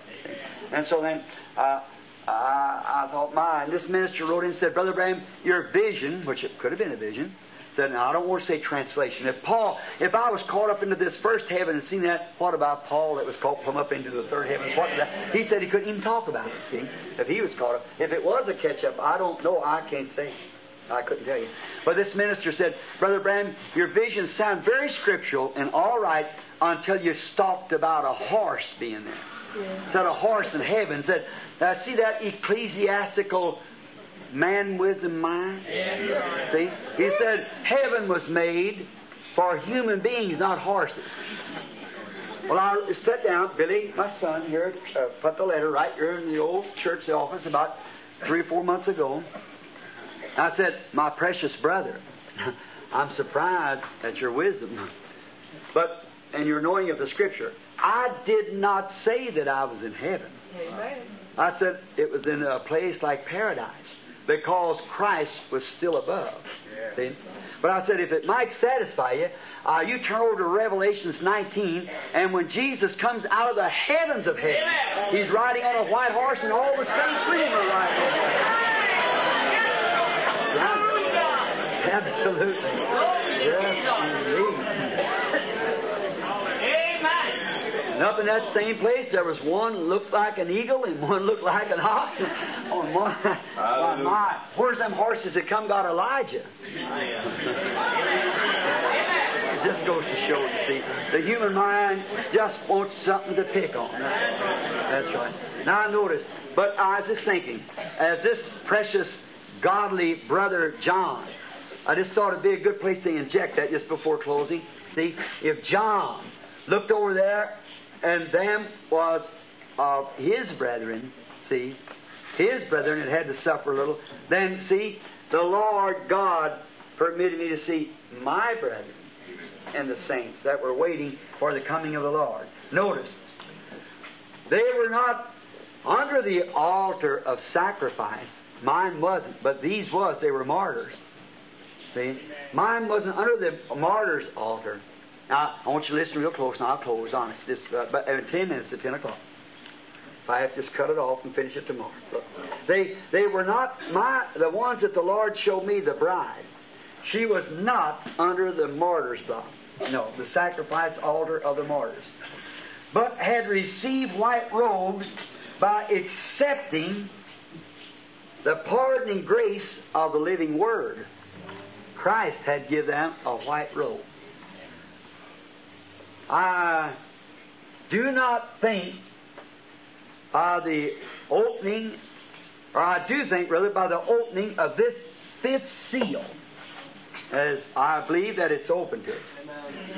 I did it with good conscience, with clear revelation before God, not trying to just make it think because I always was against the organization, never would belong to them, but it's open to me now. And I do think another thing, by the opening of this fifth seal in this day, straightens up a doctrine right here that I might speak of, of soul sleeping. Now I realize that there's people in here that does believe that, see, in the soul sleeping. I think this disproves that. They're not sleeping, they are alive. Their bodies are sleeping. But the soul, not in the grave, they're in the presence of God. Under the altar. Here is where I differ with a precious brother, a teacher, and I know, I know, I see some of these people sitting here that I realize that this is a great teacher. He's a doctor in a, a doctor of divinity, uh, PhLLD, and he's a he's a real good man too. I think he's gone on at this time, but he was a good man and a good writer. And it's uh, brother Uriah Smith, the author of Daniel Revelations.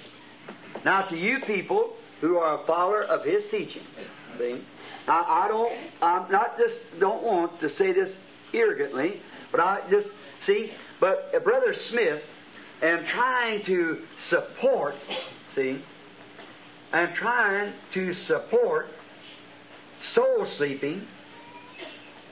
There, he mentions that the soul sleep and there is no altar of sacrifice in heaven.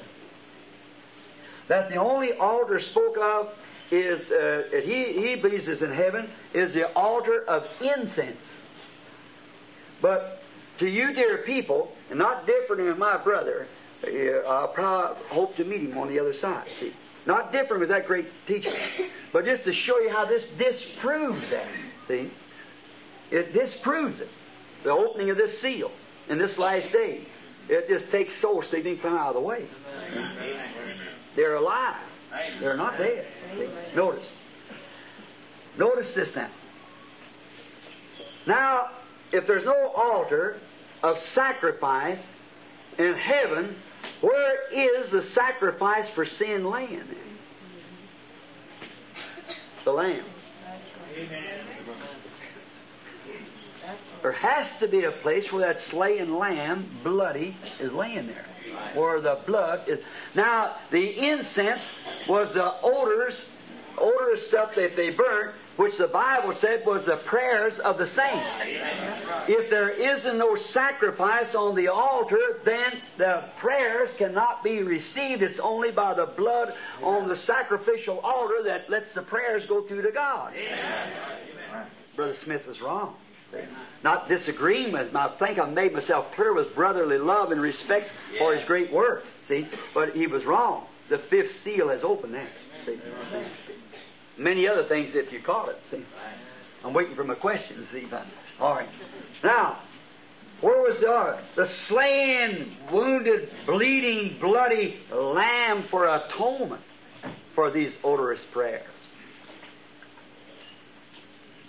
Notice, the Bible says, if this earthly tabernacle of our dwelling be dissolved, we have one already waiting. That's where I seen those saints. See? Watch when a baby, excuse me again, sisters, for this plain talk before young uh, women. But look, when a mother is, has conceived, and that little bunch of muscles is twisting and jumping, you understand. It is a natural body. And just as nature is performing the natural body, did you ever notice your wife before the little ones was born? She always, right along the last, becomes real kind, sweet. If she hasn't been all of her life, she will be then. Do you ever notice how saintly or kind of a feeling you notice a mother, and you see some sinner out there and make fun of a mother that's the, a pregnated woman? Oh, I think that's ridiculous. That's life coming to the world. But did you notice around that mother seems to be a sweet feeling? What is it? It's a little spiritual body, spiritual life waiting to come in to that little body as soon as it's born. Now it's only begotten. But when it's born, it's born. The spiritual body unites with the natural body. And then the Bible teaches that we are now begotten of God. We're begotten of the Holy Spirit, that in us is Christ, a Son of God, being formed in us. And when this earthly body be dissolved, this spiritual body comes from the bowels of the earth, there is a another body waiting to receive it. If this earthly tabernacle is dropped, there is another body to receive it. This mortal body puts on immortality. This terrestrial puts on celestial. This, see what I mean? There is a natural body that's sinful. But in its making, just like it, is another body that we go to. And I am so grateful to God that I can say, as your pastor and brother, I've seen those people, so help me in that body and handle them with my hands. That's right. Notice, watch. Look at Moses, Elijah.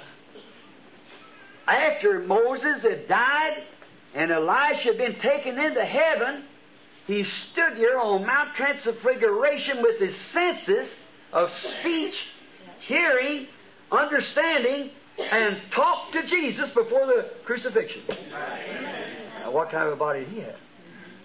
Look at Samuel. After being dead for about two years, was called back into the cave that night by the witch of Endor and talked to Saul with language, heard Saul, spoke back, and foreknew things that was going to happen. Still, his spirit hadn't changed. He was a prophet. When Elijah's spirit comes upon the man, it'll drive him just like Elijah. He'll go to the wilderness. He'll love the wilderness. He'll be a hater of immoral women. He'll be against organization. He'll pull no punches for nobody. And uh, that's just that's that'll be his spirit. It was each time it comes. See? Moses will be the same person. Now, and we find out in Revelations uh, 22 8 the same thing. Now, are to settle it for those who, the, those souls, now watch this, under the altar of the breaking of this seal that had been slain in the time between the death of Christ and the going up of the church, the Eichmann group and all that, them true Jews with their names on the book, if you'll watch, my brother, according to the Scripture, they could talk, cry out, speak, hear, and had all five senses. Not sleeping in the grave, unconscious, they were very much awake and could talk, speak, hear, anything else. Amen. Is that right? Amen. Oh, help us. Two minutes. Amen. I'm sorry I kept you half hour. No, I couldn't. I want to say that. See, that's not see. But look, here is to the best of my understanding, the best in according to the revelation that was given me this morning, just before daylight, by the Lord Jesus Christ. There is the open fifth seal to go with the other four. Hallelujah. By His grace, He gave it to me. His grace to you and I.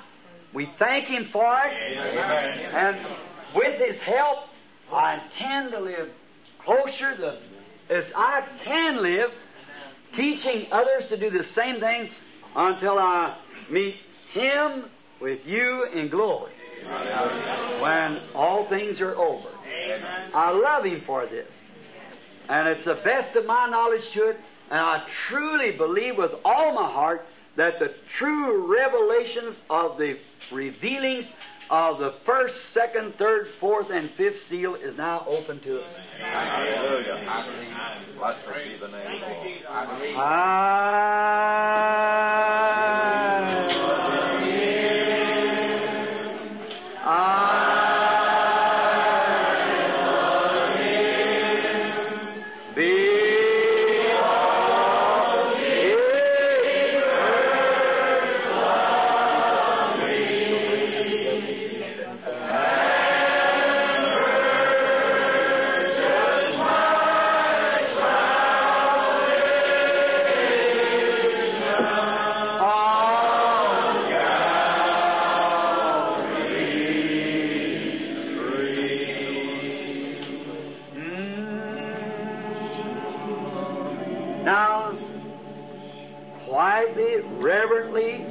God, as we've seen this seal open to us, God having to take His own beloved children and blind their eyes and send them because His own justice, justice requires judgment of sin. Think of it. His justice and His holiness requires justice. A law without a penalty is not law.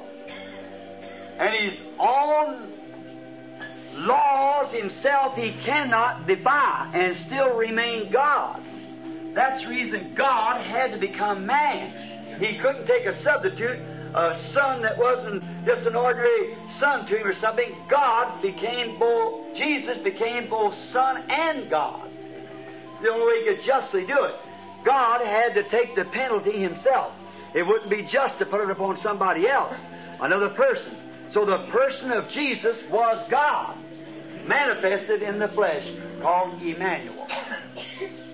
And to do that, and to take a bride and to save a lost bunch of heathen Gentiles, he had to blind his own children. And then punish them for it in the flesh. For rejection but His grace provided robes. But the life, see what happened. And if He had to do that in order for us to have a chance, how can we spurn that chance in love? If there is in this building tonight that person, young or old, that has to this time spurned that opportunity that cost God such a price, and you would like to accept that offer to God tonight, that you don't have to, as far as we ever know, to be a martyr, though you may be, but a white robe has been provided for you. And if God knocks at your heart now, why not accept it? Now let us bow our heads again. If that person or persons are in here that desires that, want to accept it upon the basis of your faith in the shed blood that God had to shed for you. Be- suffered beyond anything that any other mortal, there couldn't have been a mortal being suffer like that. Till his own grief separated his water from his blood in his veins. Before he went to Calvary, drops of blood was coming from his body. With such grief and broken heart that what he had to do, but could have refused it too, but willingly did it. For you and I, can you reject such matchless love? And you see that now by the opening of these seals. That what you have did, and what God has did for you, and you're ready to surrender your life to God, and if He'll snatch you out of the hands of the Antichrist that you're now in, would you accept His offer by just raising your hand to Him, saying, God, by this I signify I accept that offer of grace. And Brother Branham, I desire your prayers that I'll ever remain faithful. Raise your hand and I'll pray. God bless you. God bless you. Mean it now. Don't don't do it unless you mean it. And right where you're sitting, accept it right there. Because remember, you could not have raised your hand unless something told you to do it. And nothing else could have done it but God. So now when you see the scripture so perfectly unfolded, you see what's been going on down through the ages, the last few years, 20 or 30 years. You see it perfectly vindicated. You see the scripture telling exactly what's happened and what's fixing to happen. Then upon the basis of the faith in the work of Christ where you're sitting right now and have raised your hands, say from this minute on it's settled. I take Christ now for my Savior and I'll live for Him the rest of my life and I desire God to fill me with the Holy Spirit. And if you haven't been baptized in the name of Jesus Christ, the pool will be waiting for you. Let us pray. Lord God, there were some great number of hands among the people that went up. I'm sure that you're the very same Lord Jesus that made the atonement for us many years ago, and um, by seeing those seals revealed in the great things that's taken place right here in the last few years, I believe with all my heart that the door of mercy is beginning to close and you're ready to take your journey now to redeem your people.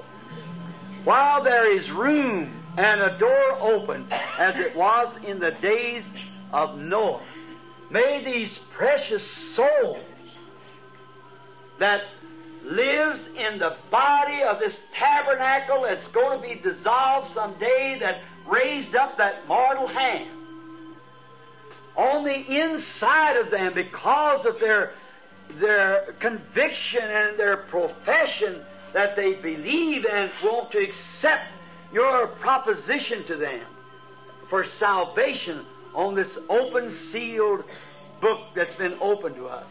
Give to them tonight, Lord, a robe of the righteousness of Jesus Christ and clothe their soul in that. That they might stand before you in that day which is close at hand. Perfect by the blood of Christ. Lord God, if they have not been baptized into the name of Jesus Christ, and upon the revelation that you give me concerning it, and seeing that Paul commanded people that had even been baptized by John the Baptist to be rebaptized again in the name of Jesus Christ in order to receive the Holy Spirit in Acts 19, I ask that you'll convince them, Lord, of the truth. And may they obey you. And then, in obedience of their acceptance and obedience to their confession and to the water, may you in return fill them with the Holy Ghost for power of service the rest of their life. I commit them now to you in the name of the sacrificed Lamb of God, Jesus Christ. Amen. Amen. Amen. Amen. Amen. I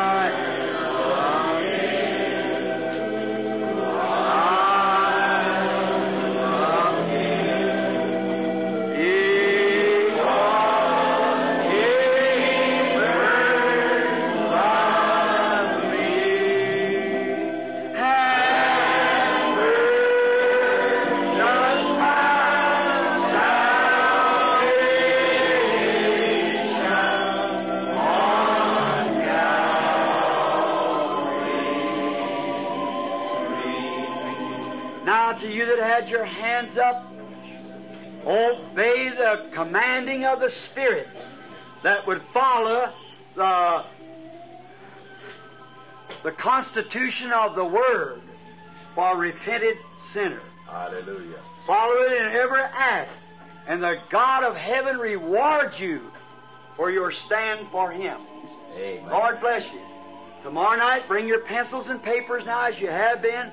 We expect to be here at the same time at 7.30, sharp the Lord willing. And uh, pray for me that God will open the sixth seal to me tomorrow, that I'll be able to bring it to you as He gives it to me. Until then, we sing again, not only through hymns, but through praises for Him that died in our stead and redeemed us. Yes. I love Him. I Amen.